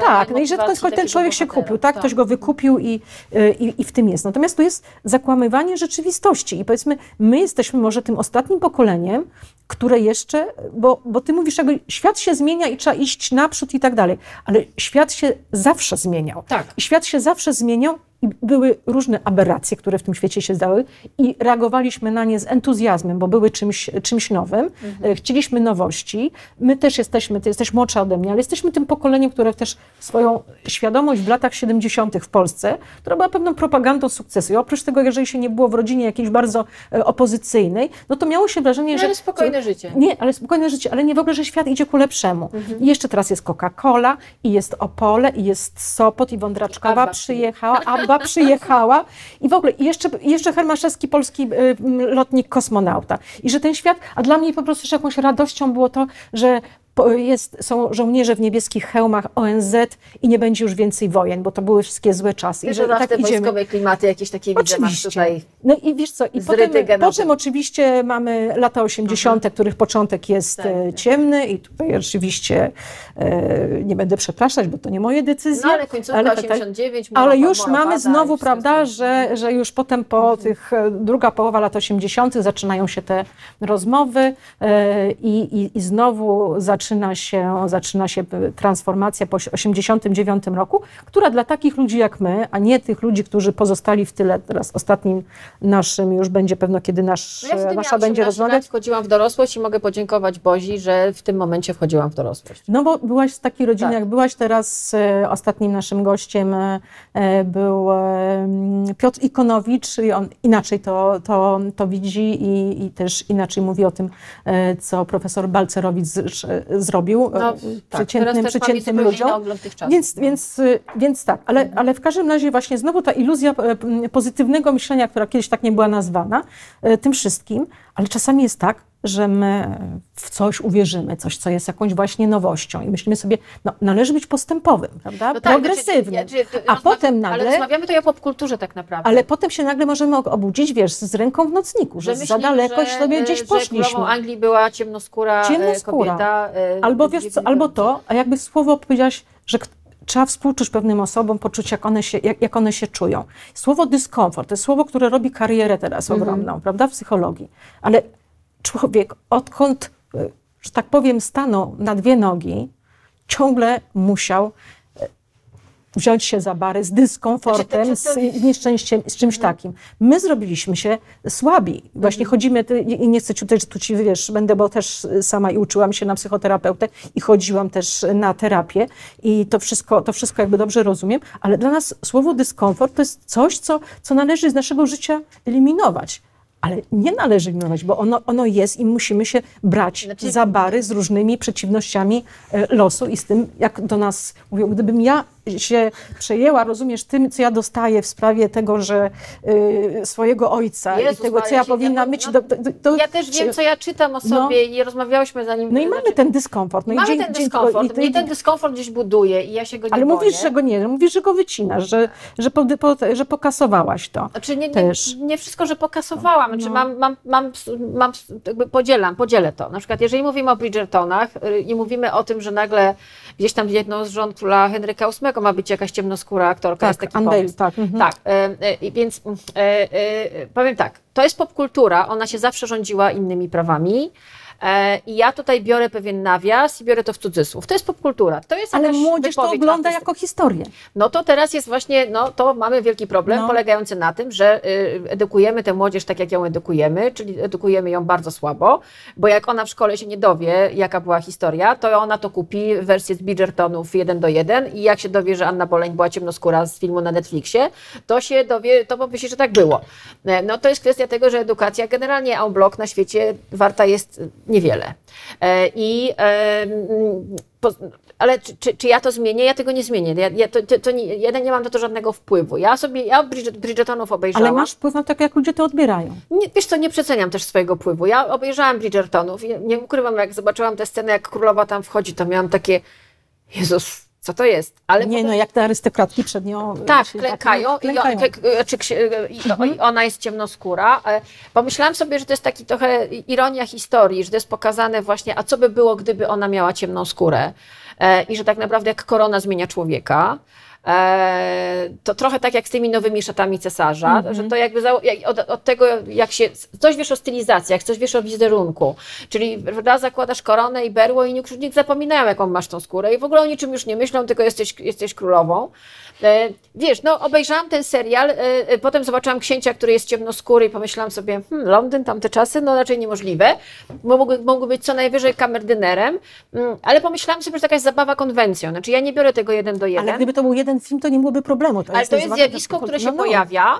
Ja myślę, że ono polega na tym, że ludzie po prostu, po, potrzyb- to, to wahadło idzie w drugą stronę, że teraz No. pójdziemy, nawet to I przesadzimy. dla mnie ten Margot też jest właśnie w tym pójściem drogą, widzisz, tym, tym wahadłem. Nie no, nie zestawiałabym mnie z Bridgertonami, trochę grubo jedziesz, e, Mm. bo to nie jest inna bajka, to nie jest popkultura. Znaczy, tu mamy kreację artysty, artyści też mają prawo do swojej kreacji. Teraz to jest też trochę modno, nie, modne, nie ukrywajmy, to się sprzedaje. Ta kontrowersja, ja się o, o tym, że Anna Boleyn będzie ciemnoskóra, Czarnoskóra, dowiedziałam z jakiegoś nagle mojego feeda na Facebooku, bo i z prawej i lewej bańki, nagle wszyscy to lajkowali i to nagle u mnie wyskoczyło. I to nagle jest nośne, nagle ludzie o tym mówią. Producent tego filmu też na pewno już liczy złotówki, czy tam w, w euro na, na koncie. On już wie, że ma zrobiony skandal wokół tego. To jest w tej chwili nośne. O tym, czy to miało jakiś wpływ na nas, myślę, że będziemy wiedzieć za parę lat. To jest na razie nowa zabawka. To jest na razie nowy model samochodu, którym każdy chce śmigać. Czy każdy będzie umiał to robić i czy Bridgertonowie utrzymają ten poziom, to też jest pytanie. Bo to jest na razie zabawka, którą mamy od grudnia. Oni mieli premierę w grudniu. I wszyscy nagle, wow, jakie super. Dobrze, mamy wiosnę 2000. Jak wszyscy dużo osób. Ja jakby wiesz, mnie to trochę nudziło, bo ja jestem historykiem sztuki, więc patrzyłam na te kostiumy i mówię, Jezu, jakie słabe, bo one są fajne dla pani, która lubi suknie e, weselne w stylu cztery wesela i pogrzeb, ale tak naprawdę to one nie mają nic wspólnego z, mm -hmm. z, z, epoką. I ja naprawdę, jak zobaczyłam te, te, te, peruki zestawione e, z sukienkami odciętymi Empire. pod biustem mm -hmm. Empire, to mówię, rane boskie, co to jest w ogóle? To się nic nie zgadza. Trochę się na tym znam i mnie to bolało. Mnie to nie bawiło. Mnie jako historyka sztuki, który się ja się interesowałam ubraniem, historią ubioru, no to mnie aż bolało, bolały mnie oczy, jak na to patrzyłam. Dla mnie to nie było super sexy, super fajne, aczkolwiek doceniłam tam elementy feministyczne, które się tam pojawiają, bardzo fajnie, fajnie są wprowadzone. Jest y, wprowadzone body positivity w bardzo miły taki y, sposób, myślę, że dla każdego, nawet dla fatshamerów, bardzo, bardzo fajnie pokazane, że na zasadzie też jakby pokażmy piękne mhm. dziewczyny, które są w różnych rozmiarach i to jest super, aczkolwiek ta dziewczyna też, aktorka, dowiedziałam się, że ona zbiera jakieś totalne hejty za to, jak wygląda, ale na szczęście ma to w dupie i bardzo dobrze. Więc jakby to jest taka zabawka. Znaczy ja myślę, że te ci Bridgertonowie to jest ciekawe zjawisko, bo artystycznie ja tego nie chcę oceniać, bo mam dzisiaj dobry humor. I jak to jest grane, też nie będę tego oceniała, bo mam dobry humor dzisiaj, ale to jest coś, o czym wszyscy mówią, myślę, że nie przez pryzmat tego, że jest świetnie nakręcone, bo to jest takie sobie. Natomiast tam jest wsadzone dużo takich właśnie modnych tematów z, z, z, z feeda na Facebooku. Zobaczymy, co będzie w drugim sezonie, bo będzie drugi sezon. E, zobaczymy, jak wyjdzie ta ciemna Anna Boleyn. I to jest popkultura. Znaczy, ja bym tego nie zrównywała jednak z walką praw ludzi e, trans, transfobicznych, e, transseksualnych, przepraszam, o swoje prawa i w ogóle LGBT, bo to jest zupełnie inna bajka. To jest coś, co podprogowo może wprowadzić dla totalnych e, transfobów pewien, pewien pierwiastek może tolerancji, uśmiechu, przestaną się tego bać, bo myślę, że wielu ludzi się boi tej inności. Więc myślę, że to jest taki rodzaj na, miękko wprowadzenie elementu inności, ale ubranej właśnie w ten kostium, że książę jest ciemnoskóry, a w tamtych czasach to jest niemożliwe absolutnie. I królowa ma ciemny odcień skóry i mamy dziewczynę, e, która na balu jest rozrywana, a jest plus mhm. size, jakbyśmy dzisiaj powiedzieli. Więc y, do tej pory wszystkie, zauważ, były szczuplutkie trzcineczki i tak. w ogóle, wiesz, rozmiar zero, a tu się nagle okazuje, że seksowną, zmysłową, po, wzbudzającą po, po, pożądanie jest kobieta, która wygląda jak 90% kobiet na świecie, y, czyli ma rozmiar 40 na przykład. Boże, jakie zjawisko. Więc wiesz, to jest w ogóle, to, to też trochę pokazuje, w jakim chorym świecie my tak naprawdę żyjemy, jak totalnie sztucznie wykreowanym, więc tak jak mówię, popkultura ma moim zdaniem czasami ogromną siłę e, zmiany pewnych poglądów, zaakceptowania pewnych poglądów. No, cofnijmy się w czasie. E, tak naprawdę wielka dyskusja o prawach gejów zaczęła się od momentu serialu Dynastia, gdzie jeden syn Blake'a Carringtona okazał się gejem. To jest moment historyczny w historii amerykańskiej telewizji i nie tylko, i wszystkich telewizji, które pokazywała ten serial. A ten serial pokazywały cały świat, gdzie nagle się okazało, że gejem jest chłopak z bogatej rodziny, piękny, przystojny, w ogóle wszystkie laski się w nim kochały, nagle się okazało, no, i reakcja Blake'a na niego, reakcja matki na niego, to było, wiesz, okej, okay, to jest dynastia, to jest oczywiście pewien kostium, to są zupełnie inne czasy, ale to jest też przez popkulturę wprowadzano do obiegu pewne tematy, o których nie mówiono, które były tabu. Więc jeżeli teraz nagle mamy Bridgertonów, i mamy ciemnoskórą króla, królową i mamy ciemnoskórego księcia, notabene ten chłopak jest tak piękny, że on mógłby w ogóle nic nie mówić, tylko się na niego można gapić. Sorry, uprzedmiotawiam, wiem, zabijecie mnie teraz, ale to też wprowadza to, że widzisz, że myślisz, że to jest kwestia właśnie kostiumu, że skóra, kolor skóry jest nieważny. Bo tak jak mówię, ja o walorach artystycznych tak zwanych wolę się nie wypowiadać, więc samo to, że my dyskutujemy o tym, też jest świadczy o tym, że oni odnieśli sukces. Bo my się zastanawiamy, o co tutaj wszystko w tym wszystkim chodzi. A ja mówię, to jest popkultura. I jak spojrzysz na historię popkultury i y, odrzucisz skandale i różne historie, to nagle widzisz, że tam były momenty, które naprawdę były momentami przełomowymi także dla ludzkiej świadomości, na przykład budowania tolerancji. I to jest super, więc jeżeli Bridgertonowie się do tego przy, przyłożą, bardzo fajnie, obyśmy nie przegięli, ale myślę, że długo, długo nie przegniemy, bo jak tak spojrzysz w ogóle na historię świata i spojrzysz w jakiej sytuacji jesteśmy, to ja mam wrażenie, że naprawdę my żyjemy w jakimś kiepsko napisanym filmie, naprawdę. I poziom nierówności społecznej, poziom, poziom tematów tabu, ilość tematów tabu, niedotykanych, które są gdzieś zamiatane pod dywan, a to śmierdzi, gnije, wypływa, wywala jakieś szambo, jest totalny. Mamy tego coraz większą świadomość, ile tematów zamiataliśmy. E, żyjemy w czasach, moim zdaniem, rewolucyjnych, i to jest rewolucja, co się dzieje. Też jest mentalnościowa rewolucja i też rewolucja w sposobie tym, jak, te, jak, jak popkultura opowiada o, o, o, tym, o tych tematach. Opowiada w sposób, moim zdaniem, dość ciekawy. Ja czekam, że to będzie wybitne artystycznie, tak jak Django, Tarantino, że o, myślisz sobie, świetne, nie mam pytań. Bo tak jak mówię, to na razie artystycznie to jest takie sobie, ale pewnie też przebija jakieś, jakieś mury. Chcę w to wierzyć. Mhm. No, pewno bym z pewnymi rzeczami się zgodziła, z pewnymi nie, ale to już zostawiam naszym widzom. Sporo pytań było, ponad 200 do Ciebie. Jest, naprawdę? E, tak, e, oczywiście tutaj e, trochę wybierzemy, trochę te, które no, były takie mocno złośliwe, to nie, ale tak, żeby Cię rozbawić. Pan Mateusz pyta sobie, jak sobie Pani radzi w roli żony Pana Janusza? Czy jest dobrym mężem i czy Pani go wspiera? Dawno go nie widziałam. Odkąd nie podałam mu ręki w studiu Tomasza Lisa, nie widzieliśmy się. Wtedy, kiedy go nazwałaś faszystowskim staruszkiem, tak? tak? Słuchaj, i też pojawia się jakiś ten, że, że ty zmieniłaś nazwisko, że, że, byłaś, że byłaś Sommer, a potem zrobiłaś się Korwin-Mikke, tak? To, to było coś takiego? Kwestia prywatna nie będę poruszać. Okej, okay, dobrze. Yy, dobrze. Ale jak dla tych, co chcą, mogę być brudną Żydówką, proszę bardzo. O nie, to nie było żadnych takich, tylko właśnie y, wręcz przeciwnie, że tata właśnie powstaniec i tak dalej. Dlaczego? Absolutnie dlaczego tak, tak. Y, ja pamiętam jeszcze, wiesz co, naszą tą rozmowę, którą, którą Państwo obejrzą y, sprzed dziewięciu lat i Ty tam bardzo... Tak. I Ty tam bardzo wyraźnie jakoś poruszyliśmy taką, taką kwestię też takiej Twojej pewnej metamorfozy, bo Ty jeszcze, jak się poznałyśmy, to Ty rzeczywiście byłaś taka bardzo klasyczna. Udzielałaś takiej szkockiej spódnicy, białej koszuli, granaty, tak, granatowy, granatowy kardigan. No, taka minimalistyczna była. Tak, ale nie, ale to też było takie właśnie też e, tradycyjne i mm, też często tak ci się pojawiało, że ty mówiłaś, tak zostałam wychowana i taka byłaś z tego e, mhm. dumna z tego takiego tradycyjnego raczej wychowania. Mhm. I też przeszłaś jakąś e, drogę, która ci na tą właśnie bardziej takie progresywne myślenie. No na pewno, tak, no. zdecydowanie to, to się stało no, na przestrzeni, myślę, jakichś ostatnich 12-13 lat. Mhm. Zdecydowanie. Ale nie masz jakiegoś takiego, to tam chętnie mówią właśnie jakiś rytuał przejścia? Jakiś nie, ja nie mam, nie, nie, to nie była jedna data, to nie był jeden moment, ale to były takie jakieś zbiór różnych wydarzeń w moim życiu, które wpłynęły na to, że y, roz, rozluźniłam mocno gorsecik. Mhm. Bo też nie musiałam go za, mocno za, za, zaciągać. Mhm. E, ty wiesz o mnie trochę więcej, ale nie będziemy o tym mówiły publicznie, więc no jakby mogłam go poluzować, bo już po prostu nikt ode mnie nie wymagał, żebym go trzymała cały czas zaciśnięty, jak Scarlett mhm. O'Hara Przeminęło z wiatrem. E, no i sobie poluzowałam. A że ja mhm. też jestem, no tak poluzowałam go od razu na mocno, to mało sobie go nie, nie złamałam tego kręgosłupa, bo mi tam poleciał. Ale, ale nie, to znaczy to po prostu się, w pewnym momencie człowiek się wyluzował. Ja się cieszę, że jest jakiś progres we mnie, że ja nie jestem e, skałą niezmienną przez całe życie, bo myślę, że to byłoby dość nudne.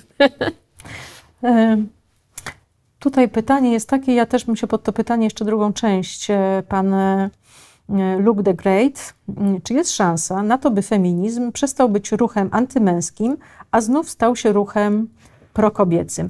Ja do tego pytania bym e, dołożyła, czy coś takiego, mm, kiedy mówisz o feminizmie i też e, słucham mm, waszych rozmów z Agatą Młynarską. Agata, serdecznie pozdrawiamy. Też moja koleżanka ze, no, ze studiów. Jedna klika. No. I i, I, bardzo często tam pojawiało się, i ze strony Agaty, ale bardziej z twojej strony, to słowo patriarchat i że ten patriarchat trzeba, trzeba znieść. I, czy, i, I, tak się zastanawiam, czy ty jesteś jakąś ofiarą tego patriarchatu? Czy gdzieś widzisz Długo to? nie wiedziałam, że jestem, tak. Naprawdę? Tak, ja byłam mobbingowana przez patriarchat. To znaczy? No, miałam szefa Mobera, Aha. który był bezkarny, jednego i drugiego. Nie wiedziałam, co jest mobbing. Aha. bo nie wiedziałam w ogóle, że jest coś takiego jak mobbing. E, I ja znam przykłady no, bardzo dużej nierówności seksualnej e, w pracy, e, płciowej, nierówności płciowej w pracy. Zetknęłam się z tym. Zetknęły się z osoby bliskie mi. I ja nie miałam bardzo długo świadomości, jak to bardzo jest wdrukowane w naszą kulturę, także kulturę pracy i życia. No, samo to, że kobiety mają mniejszą pensję niż mężczyźni, że mają zupełnie mają mniejsze prawa niż mężczyźni w Polsce. Nie opowiadajmy, że są równe. Nie są równe. I w kontekście na przykład teraz pandemii tej książki, to jak rozmawiałam z Nataszą Kosakowską, no to wiesz, no to, że kobiety y, strasznie dostały po tyłku przez pandemię i to nie jest tylko polska specyfika, to jest specyfika światowa. Mm, są oficjalne dane Komisji Europejskiej na ten temat, wyszły kilka dni temu i to jest przerażające. E, pandemia cofnęła prawa kobiet do XIX wieku. Nic dziwnego, że one wychodzą na ulicę i wrzeszczą, i że krzyczą, bo mają świadomość, że coś im się próbuje zabrać. E, e, I rzeczywiście, no, ja mam świadomość, używam słowa patriarchat, aczkolwiek ja uwielbiam mężczyzn, nie mogę bez nich żyć. Natomiast to chodzi o pewną instytucję, jakby sposób myślenia, pewną mentalność patriarchalną, którą my na przykład w Polsce, kraju katolickim do niedawna, bo myślę, że teraz jak patrzymy na to, jak się laicyzujemy, to nikt nie ma wątpliwości, że Polska nie jest już krajem katolickim, bardziej staje się laicka na szczęście, ale ma, mieliśmy to wdrukowane i to po prostu wysysaliśmy to z mlekiem, mlekiem matki. I myślę, że i ty i ja myśmy to gdzieś wys, wy, wy, wyssały, chociażby przebywając w Polsce, żyjąc tutaj, pewien model. E, I myślę, że to jest y, no, kwestia do przepracowania przez następne pokolenia. A ja nie jestem antymęska, zdecydowanie nie. Ja znam mhm. wspaniałych, fantastycznych mężczyzn, e, którzy też wspierają swoje kobiety w tym, co się teraz dzieje, bo uważam, że no, no, trzeba teraz walczyć o te prawa kobiet, które próbuje się nam zabrać w imię niby naszego dobra albo w imię naszego niby bezpieczeństwa. Mm, e, e, a to, to, to nie o to tutaj chodzi. No, chodzi o to, żeby zmienić sposób myślenia, sposób podejścia do kobiety jako do osoby, człowieka. Mhm. No ale taką osobą jest na przykład e, Kaja Godek, która no, była też, że tak powiem, jedną z, z osób, które spowodowały to, że. No ona tak, też ma prawo do inaczej, swoich przekonań, aczkolwiek zastanawia no mnie, trudno... je, je, dlaczego ona, która jest osobą gdzieś bardzo niszową, a jednak no, ma taki wpływ na polską politykę i na no to, widzisz, na to co kobiety dzieje. siłą jednak. No tak, nie, nie, generalnie kobiety są silne i widzimy, że generalnie kobiety przepychają e, ważne dla siebie rzeczy, jak się da to w Sejmie, jak się da to na ulicy. Mhm. E, I myślę, że w ogóle żyjemy w świecie kobiet. No jak zobaczysz, kto manifestował e, na ulicach w zeszłym roku, pomimo pandemii, od Stanów Zjednoczonych przez Białoruś po Polskę i Turcję i Francję, to są to głównie kobiety w różnym wieku, choć z przewagą bardzo młodych, które mają świadomość, że świat, świat zaczyna im, znaczy świat nie dorasta do ich potrzeb, do ich aspiracji i wymagań. One widzą te nierówności, one widzą ten patriarchat. Jakby tu siedziała na moim miejscu, nie wiem, Maja Staśko, to ona by ci wyłożyła wszystko. O co chodzi z tym, o co chodzi z tym patriarchalną mentalnością, którą mamy i to młode pokolenie to szalenie widzi. W nich to bardzo uderza. One to bardzo czują i one bardzo o to walczą i uważam, że trzeba je wspierać w tym. Mhm. Kolejne pytanie. Takie pół żartem, ale jeszcze zostaniemy przy... Pół żartem. Tak. Pan Marcin Okoń. Czy przypuszczanie kobiet w drzwiach to dyskryminacja, a wyższe wypłaty dla kobiet na takich samych stanowiskach to równość? Czy rozróżnianie płci samo w sobie nie jest już dyskryminujące? Oczywiście tylko dla kobiet, bo mężczyźni raczej nie mają z tym problemu, tak jak i biologia. Ja myślę, że mężczyźni mają z tym jednak spory problem. Przepuszczanie w drzwiach to różnie bywa, w różnych kulturach to jest różnie odbierane. E, my w Polsce myślimy, że jak przepuszczamy kobietę w drzwiach i dajemy jej goździk na 8 marca i całujemy ją w rękę, to jest super. I że to już wystarczy. E, mamy, ja oczywiście, tak jak mówię, e, ja sama byłam w związkach z mężczyznami, którzy byli bardzo wspierający i miałam to wielkie szczęście, ale na palcach jednej ręki mogę policzyć związki moich koleżanek, przyjaciółek, które mają fajne związki. Mhm. E, to bardzo często niestety nie jest tak super, jakby panowie e, chcieli. I myślę, że pandemia była takim momentem, jest cały czas takim momentem, który pokazał, kto jest kim, kto daje radę, kto nie. I nie sprowadzajmy praw kobiet do tego, czy ktoś się przepuszcza w drzwiach, czy nie, bo to jest głupie i myślę, że pan, panu nie o to tutaj chodziło. Chodzi o prawa. A mhm. ja nie znam żadnej kobiety, która by zarabiała na tym samym stanowisku więcej niż mężczyzna, bardzo chętnie poznam żebyśmy miały takie fajne związki, to ciągle byśmy z nich Karolina były, tak mówiąc No szczerze. też tak myślę, no, no właśnie. Więc no, tego nie, nie, tego jednak nie przeczytam. Nie no, przeczytaj, no co się cykasz, no błagam cię, no. No, pan e, Aminius, Strategy Gamer. A. Czy to prawda, że pani Karolina Korwin-Piotrowska nie lubi ludzi? Nie wiem, ktoś to kiedyś o mnie powiedział i chciałabym dowiedzieć się, o co, o co tutaj chodzi. Y, y, Ja myślę, wiesz co, że to jest... e, Bo śmiem mieć czasami wątpliwości co do czyjegoś zachowania. Wiesz co, ale Mhm. myślę, że też zobacz, że mm, na pewno takie coś było, kiedy prowadziłaś filmidło i tak dalej, to, to by to nie było. Jednak myślę, że ciągnie się za sobą e, Mhm. magiel towarzyski, gdzie jednak... E, Że ośmieliłam się powiedzieć, że ktoś jest głupi. Albo robi głupie rzeczy, tak? no, znaczy myśl, myślę, że tak, że, że Mhm. wiesz, że jakby... Że no, to jest niemądre, tak? Że sprzedawanie swojej prywatności jednak nie jest za fajne. A? I te same osoby po latach y, płaczą teraz, bo wiedzą, że za dużo sprzedały, bo Mhm. y, ludzie im wchodzą do, po prostu do gaci. Mhm. No. Nie. No To jak ktoś tak sądzi, to to jest problem tej osoby. Ja zdania nie zmienię. Uważam, że e, e, e, podczas robienia magla robiłam rzeczy zgodne ze sobą i nie zmieniam zdania, że większość z bohaterów naszych opowieści to byli ludzie niestety wyobraźni i niezbyt mądrzy, którzy dzisiaj często też żałują tego, że za bardzo wpuścili media do swojego życia, bo niestety jak wpuścisz je raz, to wejdą ci do kibla i potem ich nie wyrzucisz, niestety. To jest to, że z mediami trzeba też umieć grać. Wszystkim się wydaje, że umieją to robić, no większość niestety nie potrafi. Mhm. I to jest przykre, to jest smutne, mi żal tych ludzi, e, bo, bo czasami no to, jest, to, jest, to jest droga w jedną stronę. Jak już wchodzisz w romans z mediami, to nie ma tak, że wychodzisz i mówisz nie dziękuję, nie podoba mi się to. To trwa całe życie. Mhm. E, Pytanie troszkę polityczne, e, też wiem tutaj pan mm, Lak X. Ja uwielbiam te niki po tak, prostu. tak. Naprawdę. Czasem jest trudno przeczytać.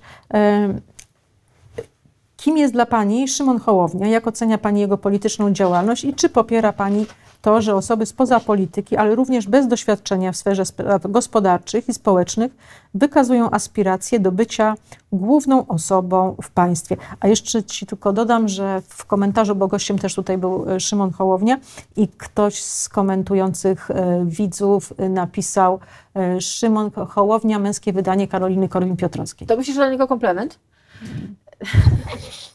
E, powiem tak, mm, e, ja Szymona znam od ponad 20 lat. Kiedyś była Gazeta Machina i Bogna Świątkowska, ówczesna naczelna Machiny, chciała, żebyśmy napisali ostatnią stronę i myśmy Mhm. nawet zrobili, chyba popełnili dwa takie dzieła.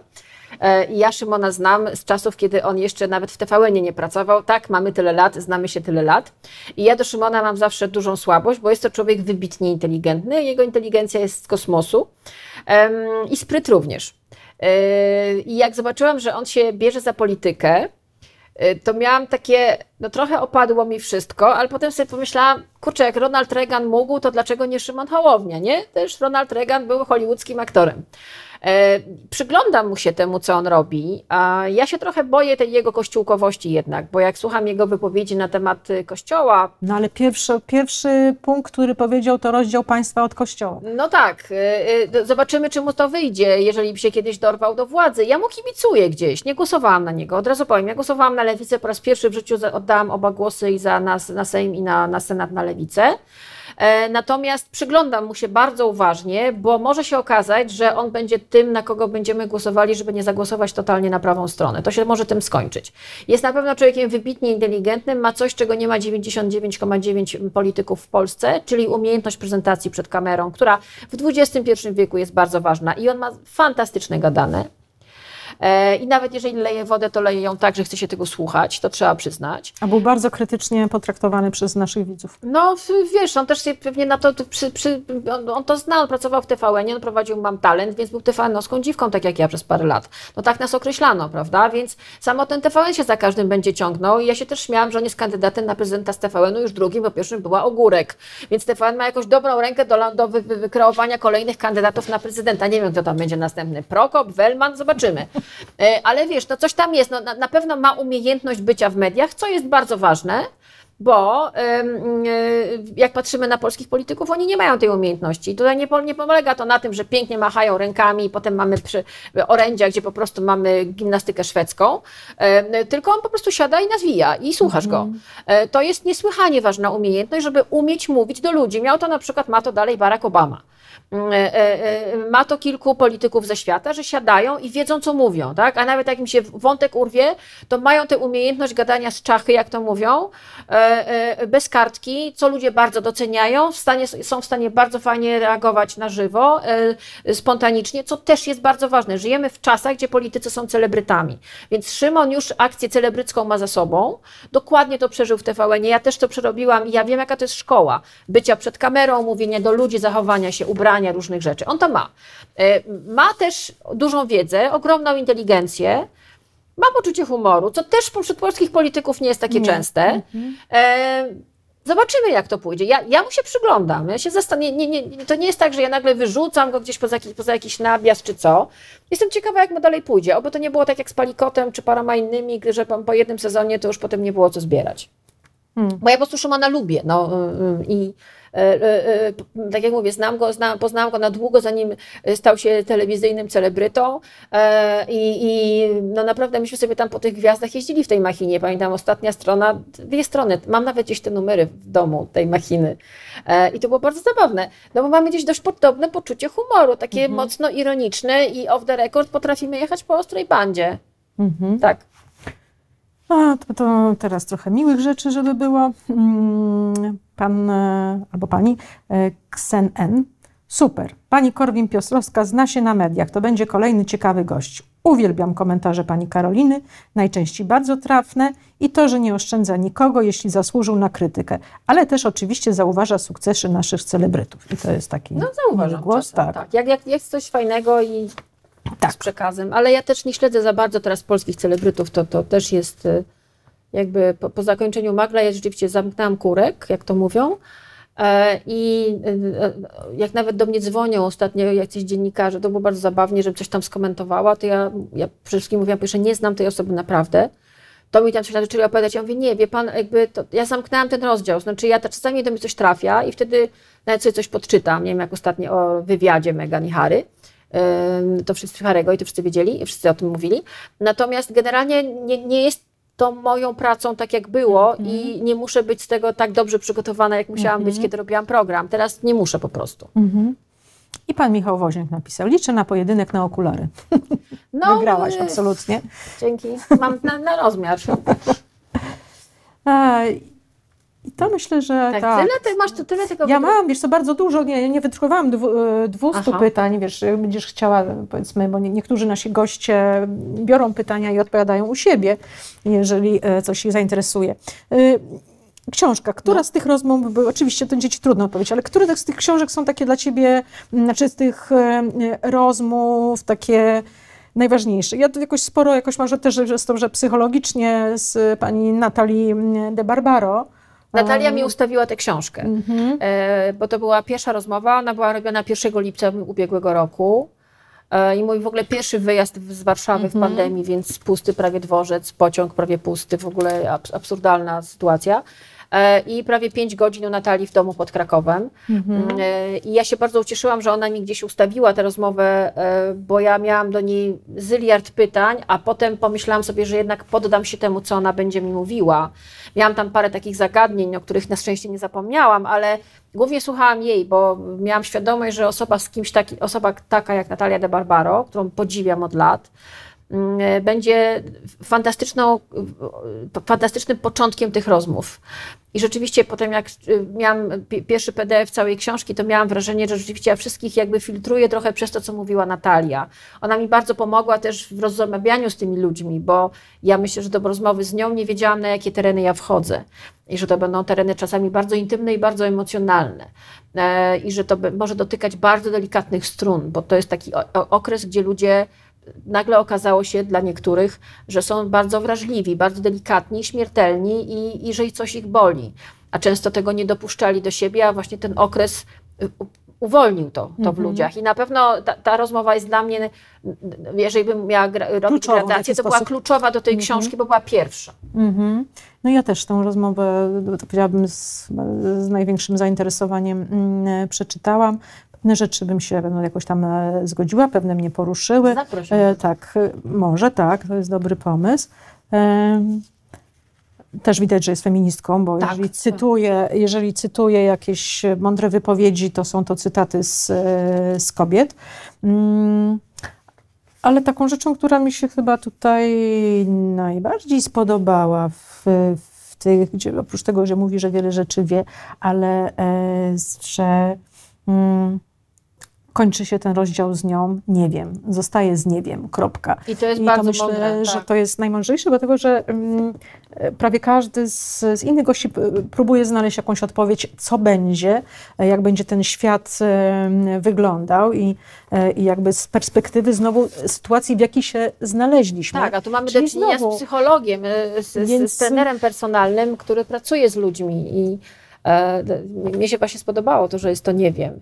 E, I, I to było e, też dla mnie otwarciowe do innych ludzi, bo e, no, wiedziałam, że te odpowiedzi będą różne, bo jeżeli ktoś taki jak Barbaro mówi mi, że nie wie, to miałam prawie stuprocentową pewność, że każdy będzie coś kombinował Mhm. bo ona ma większą wiedzę, wie- więcej, co się dzieje w naszej głowie. Jakby ona mi też trochę pomogła, bo ja z nią tam rozmawiałam w taki sposób, myślę, naprawdę, ja myślałam, że ja nigdy nie zredaguję tej wy- rozmowy. Ona miała, nie wiem, 50 tysięcy znaków, to był jakiś total. Po prostu siedziałam nad tym i płakałam, bo nie wiedziałam, co mam z tym zrobić, żeby to było logiczne, bo myśmy też się bawiły w dygresję i w ogóle to było u niej w domu, jadłyśmy truskawki, chodziłyśmy po ogrodzie, ja z tym dyktafonem, no ale wiesz, to jakby też miał taki nastrój takiego spotkania, jakbyśmy się z więzienia obie wyrwały.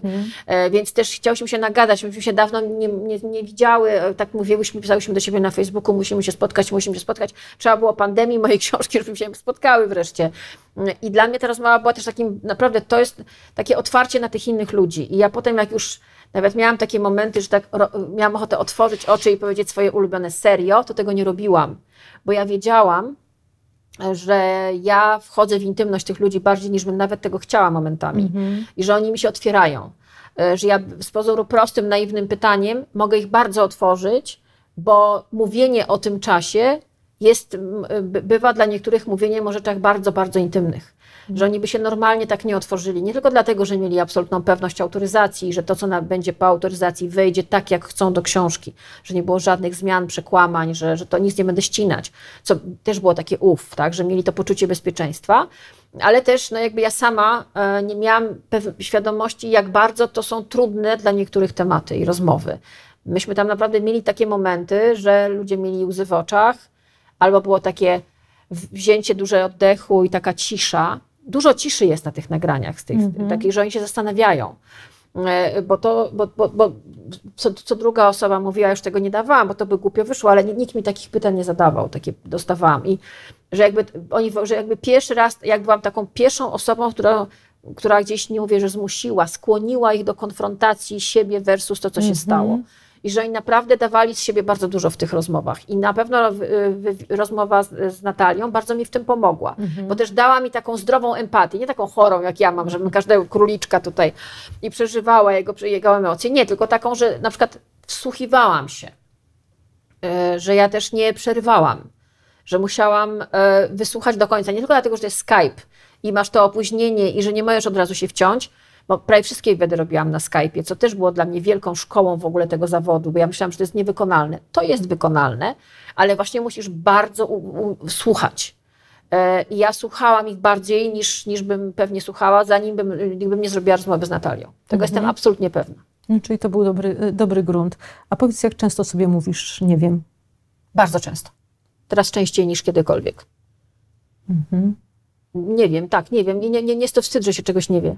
No, ale to jakby właśnie myślę, że tego, tego, tego jakoś nie widać. Jakoś, kiedy, kiedy mówisz, prawda, to jesteś najczęściej jakby bardzo pewna swojego zdania. Bo ja wiem, jak zrobić, żeby mówić tak, że się daje przekonanie innym, że ja, ja wiem, o czym ja mówię, tak? Jestem pewna swojego zdania.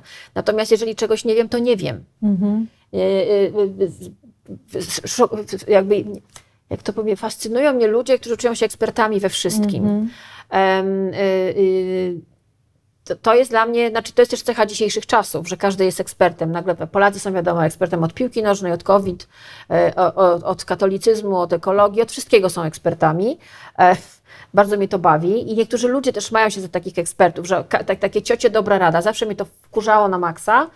Em, I ja, ja nie mam problemu powiedzieć, że czegoś nie wiem. To ja doczytam. Mamy Google, mamy encyklopedię, mogę sprawdzić. A jak nie wiem, to nie wiem, po prostu nie wiem, bo słucham kogoś. Ja lubię się dowiedzieć czegoś od drugiej osoby.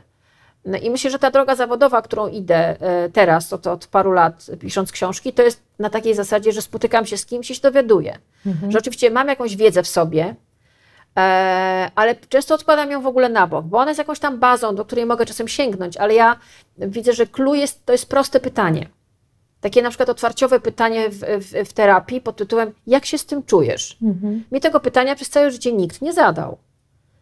I ja wiem, jak dla mnie ono było otwarciowe, jak było szokujące, gdzie nagle ja usłyszałam to pytanie i nie wiedziałam, co mam powiedzieć, bo pierwszy raz w życiu ktoś mnie zapytał, jak, ci, jak się czułaś z tym? I ja tak, nie, no na pewno się jakoś pani z tym czuła. I ja wiem, jak to jest ważne, otwarciowe pytanie. I często te proste pytanie są naj, pytania są najważniejsze, bo to, że ja zadam komuś pytanie, które będzie trwało 15 minut, jak będę je wypowiadała i będzie się wkładało 40 cytatów i było 80 przypisów, to nie znaczy, że ja wiem, o, czym, o co ja pytam. I to mi też pokazali, pokazują, w tej książce ja się dużo mhm. tych ludzi nauczyłam.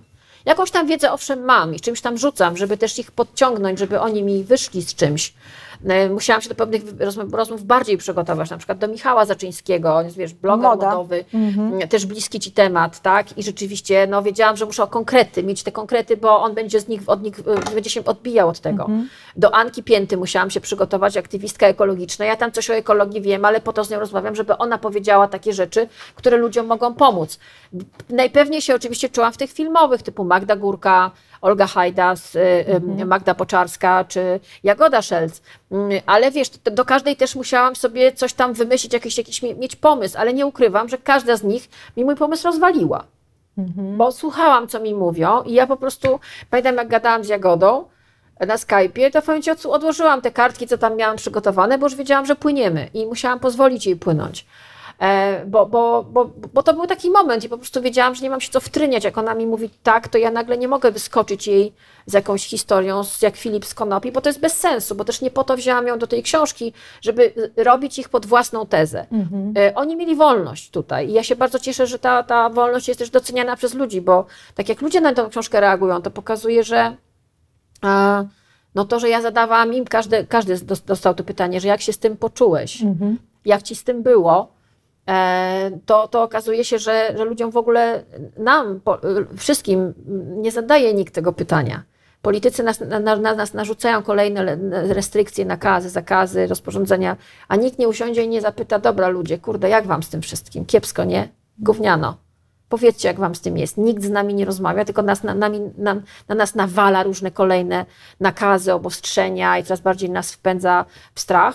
E, uzasadnionym, no bo, bo, bo, sytuacja jest trudna, ale nikt z nami nie rozmawia, tylko nam nakazuje różne rzeczy. Mm, no, że tak powiem, media i politycy działają tak, żebyśmy skakali sobie do gardeł, żebyśmy byli No i niestety trochę im się to udaje. Tak. tak, żebyśmy byli źli dla siebie, nie słuchali się wzajemnie i nie pytali. No o tym mówi Sekielski, tak. Klika się to, co jest y, krwią, potem i łzami, tak, a, że, a mediami rządzą księgowi, a nie dziennikarze, a tych dziennikarzy jest już coraz mniej takich, którzy mają poczucie pewnej misji i tego, że pewne newsy, pewne sytuacje, pewne historie, nawet takie jak pandemia, trzeba włożyć w jakiś kontekst psychologiczny, socjologiczny, gospodarczy, kulturowy, każdy, że nagle patrzysz na to szerzej. Myślisz sobie, tak, już kiedyś były takie sytuacje chociażby i ludzie z tego wychodzi, wychodzili, bo ludzie z tego wyjdą. Tylko trzeba im powiedzieć, wyjdziecie z tego wszyscy, spokojnie, damy radę, tylko musimy zrobić to i tamto, a nie oj, poniedziałku, tam, tam i następny, jakby no, tu można by godzinami rozmawiać mm -hmm. na temat narracji, jaką prowadzą rządzący w wielu bardzo krajach mm -hmm. wobec ludzi, którymi rządzą. Mhm. E, która jest zgubna i która kończy się tym, że są kolejne fale i coraz więcej ludzi jest po prostu wkurzonych i zmęczonych, do czego też mają prawo. Oczywiście, że tak. Karolina, bardzo dziękuję za rozmowę. To już koniec, jak tak. Nie, nie, nie, nie będziemy, no nie, prawie dwie godziny. E, a cóż, e, Dziękuję Tobie. Ja dziękuję. Mm, państwu polecam e, książkę. A Tobie się która najbardziej podobała? E, Barbaro? Też, tak. Znaczy najbardziej mnie zainteresowała. Nie tylko, nie, wiesz, też nie przeczytałam wszystkich bardzo dokładnie, więc mhm. to też było, bo trochę przekładałyśmy te terminy, w związku z tym miałam też innych, e, innych gości, więc powrócę jeszcze pewno, żeby pogłębić nie, niektóre. No a cóż, wobec tego Tobie bardzo dziękuję. Mam nadzieję, że, że zadam Ci teraz jeszcze pytanie, że dobrze się czułaś w czasie tej rozmowy, chociaż dobrze nie zawsze było herbatka mi wystygła. Nie, było, tak, było tak. wiele łatwiej niż myślałam. Okej, okay, dobrze. Ja myślałam, że tu będziesz jakiś po prostu, wyjdziesz z jakąś szablą, z jakąś bazuką, będziesz śpiewała, wylejesz na mnie spirytus, cokolwiek, nie wiem, coś się zadzieje. Jakoś spokojnie bardzo. Starzejesz się, Monika, popracuj poprzednim, ra, poprzednim razem też było bardzo spokojnie. Ale no widzisz, i po prostu No widzisz, ale są też ludzie spokojni. A ja, nie miała. mogę. To jest, to jest niesamowite, ale... masz taki głos, to jest taka, to jest, ty masz, jesteś perfidna, to jest, to jest bardzo sprytne, bo tak spokojnie pytasz, a potem ja oglądam taki wywiad, tak jak ten sprzed 9 lat. 9 lat minęło, Jezus Maria. E, I potem ja tak pamiętam, wiesz, jak ja oglądałam ten wywiad, to myślałam sobie, Jezus Boże, co ja zrobiłam? Po prostu, co ja jej powiedziałam? Ja po prostu nienawidzę tej Jaruzelskiej, nigdy więcej do niej nie pójdę, bo to jest, to był najbardziej otwarciowy w moim życiu wywiad. Ja nigdy y, tyle o sobie nie powiedziałam na tamten moment, e, co tobie. I ja pamiętam, że się bałam, potem zobaczyłam, ile on ma wyświetleń i miałam takie, Jezu, to tyle osób już. A to mało miało wyświetleń w porównaniu z tymi, co dzisiaj się dzieje. W każdym razie wam... To będzie miało więcej wyświetleń? Myślę, Jeszcze tak, tak. zaorane. A ja też e, Państwu bardzo dziękuję i wobec tego proszę jak o komentarze. Jak się czuliście oglądając naszą rozmowę i słuchając? Dziękuję i zapraszam już do kolejnego odcinka. Ja dziękuję bardzo też. Do następnego razu, czyli to następna książka, czy co? Coś wymyślimy? Następna książka, może mhm. spotkanie, bo tutaj też właśnie powiedzieliśmy. O Udymalenie nic nie powiedziałyśmy. No nie powiedziałyśmy nic o Udymalenie. Czy chciałabyś dodać, bo ja jestem, powiedziałabym, sceptycznie nastawiona cały czas, jestem po prostu uważam, że nie wiem po tym filmie dalej, yy, że tak film jest zrobiony jakby z perspektywy potencjalnej ofiary, w związku mhm. z tym y, może rzeczywiście tak, e, tak było. Jeśli tak było, to jest to okropna historia. Jeśli rzeczywiście tak nie było, to też jest to okropna historia. Ja myślę, że mamy okropną historię o manipulacji medialnej i o tym, że e, no, teraz powiem jak rasowa feministka, białemu, bogatemu mężczyźnie uprzywilejowanemu wolno więcej, który ma dużo pieniędzy jest w stanie wynająć na przykład agencję PR-ową, bo ten wątek, który jest w trzecim odcinku i w czwartym, jeśli nie widziałaś całości. W czwartym odcinku pojawia się Dylan na dobre. I poznajemy Dylan, która dzisiaj jest dorosłą kobietą i ma rodzinę i ma córeczkę. I, i Czyli to jest, proszę Państwa, ta e, córka adoptowana, tak, która, adoptowana. która miała być e, rzekomo, jak ona podaje, e, a może była, no, molestowana. No myślę, że jednak była, bo dla mnie kluczowy jest ten moment w jednym z odcinków, gdzie dzisiaj eksperci słuchają tych taśm mhm. i mówią, że i czytają zapis, zapisy z dziewięciu bodaj przesłuchań, którymi podda, którym poddawano to dziecko, to też szokujące E, i mówią, że miała, ma, wszystkie, ma całe, wszystkie objawy dziecka molestowanego. E, I że to, że jej wtedy nie wysłuchano, no to jest cała opowieść o tym, gdzie, gdzie w ogóle.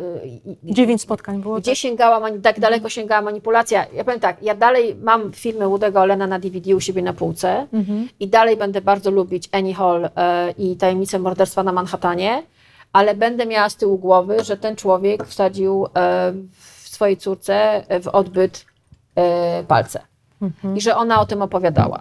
I bo ja widziałam tą taśmę i myślę sobie, że coś jest, coś jest z nim nie tak.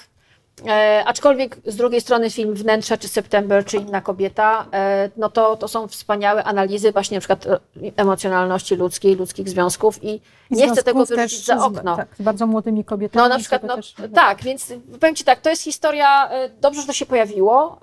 E, pierwszy raz Dylan zabrała głos tak głośno, bo ona tylko napisała te dwa eseje, ona się nie mhm. wypowiadała za bardzo. E, I myślę, że ten czwarty odcinek, gdzie my ją widzimy tu i teraz, gdzie ona reaguje na, na pewno, pewną wiadomość.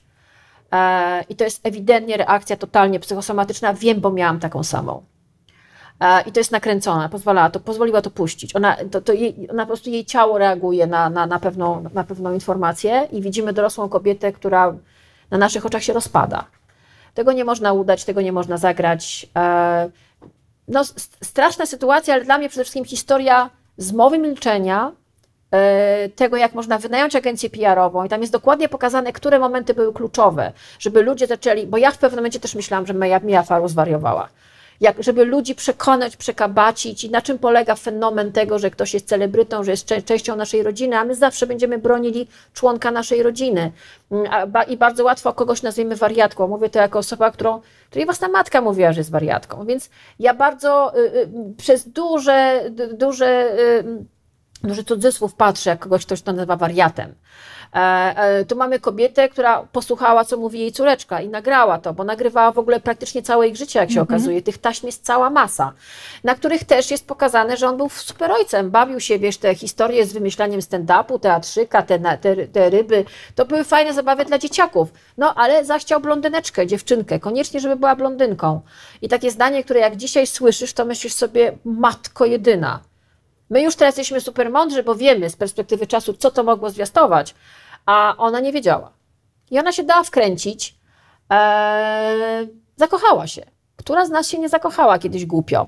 No na szczęście bez takich konsekwencji, mam nadzieję, ale tu mamy historię dziwnego związku, dziwnej relacji, bardzo toksycznej pod koniec, bardzo niezdrowej. No i ta relacja z, z, jego obecną żoną, gdzie już wiadomo, że on z nią miał kontakty seksualne, kiedy ona była niepełnoletnia, zdecydowanie, no to to już jest w ogóle jakieś. Patrzysz na to, myślisz sobie, okej, okay, on to robił z kimś, kto był oficjalnie jego adoptowaną córką. Fajne? Nie fajne. To nie fajne. I to prawda, na pewno. No. To prawda. No tośmy skończyły wątek no. Łudego Alena. Tak. Dziękuję bardzo. Znowu za dużo powiedziałam. Pewnie, a będę machała. Za to. Dobrze. Herbatka. Dzięki. Dziękuję. Napiszę herbatki. Dobrze. Dziękujemy Państwu jeszcze raz i do zobaczenia. Już się a... żegnamy na pewno. Tak. Ja już, ja już wychodzę stąd. Ciach.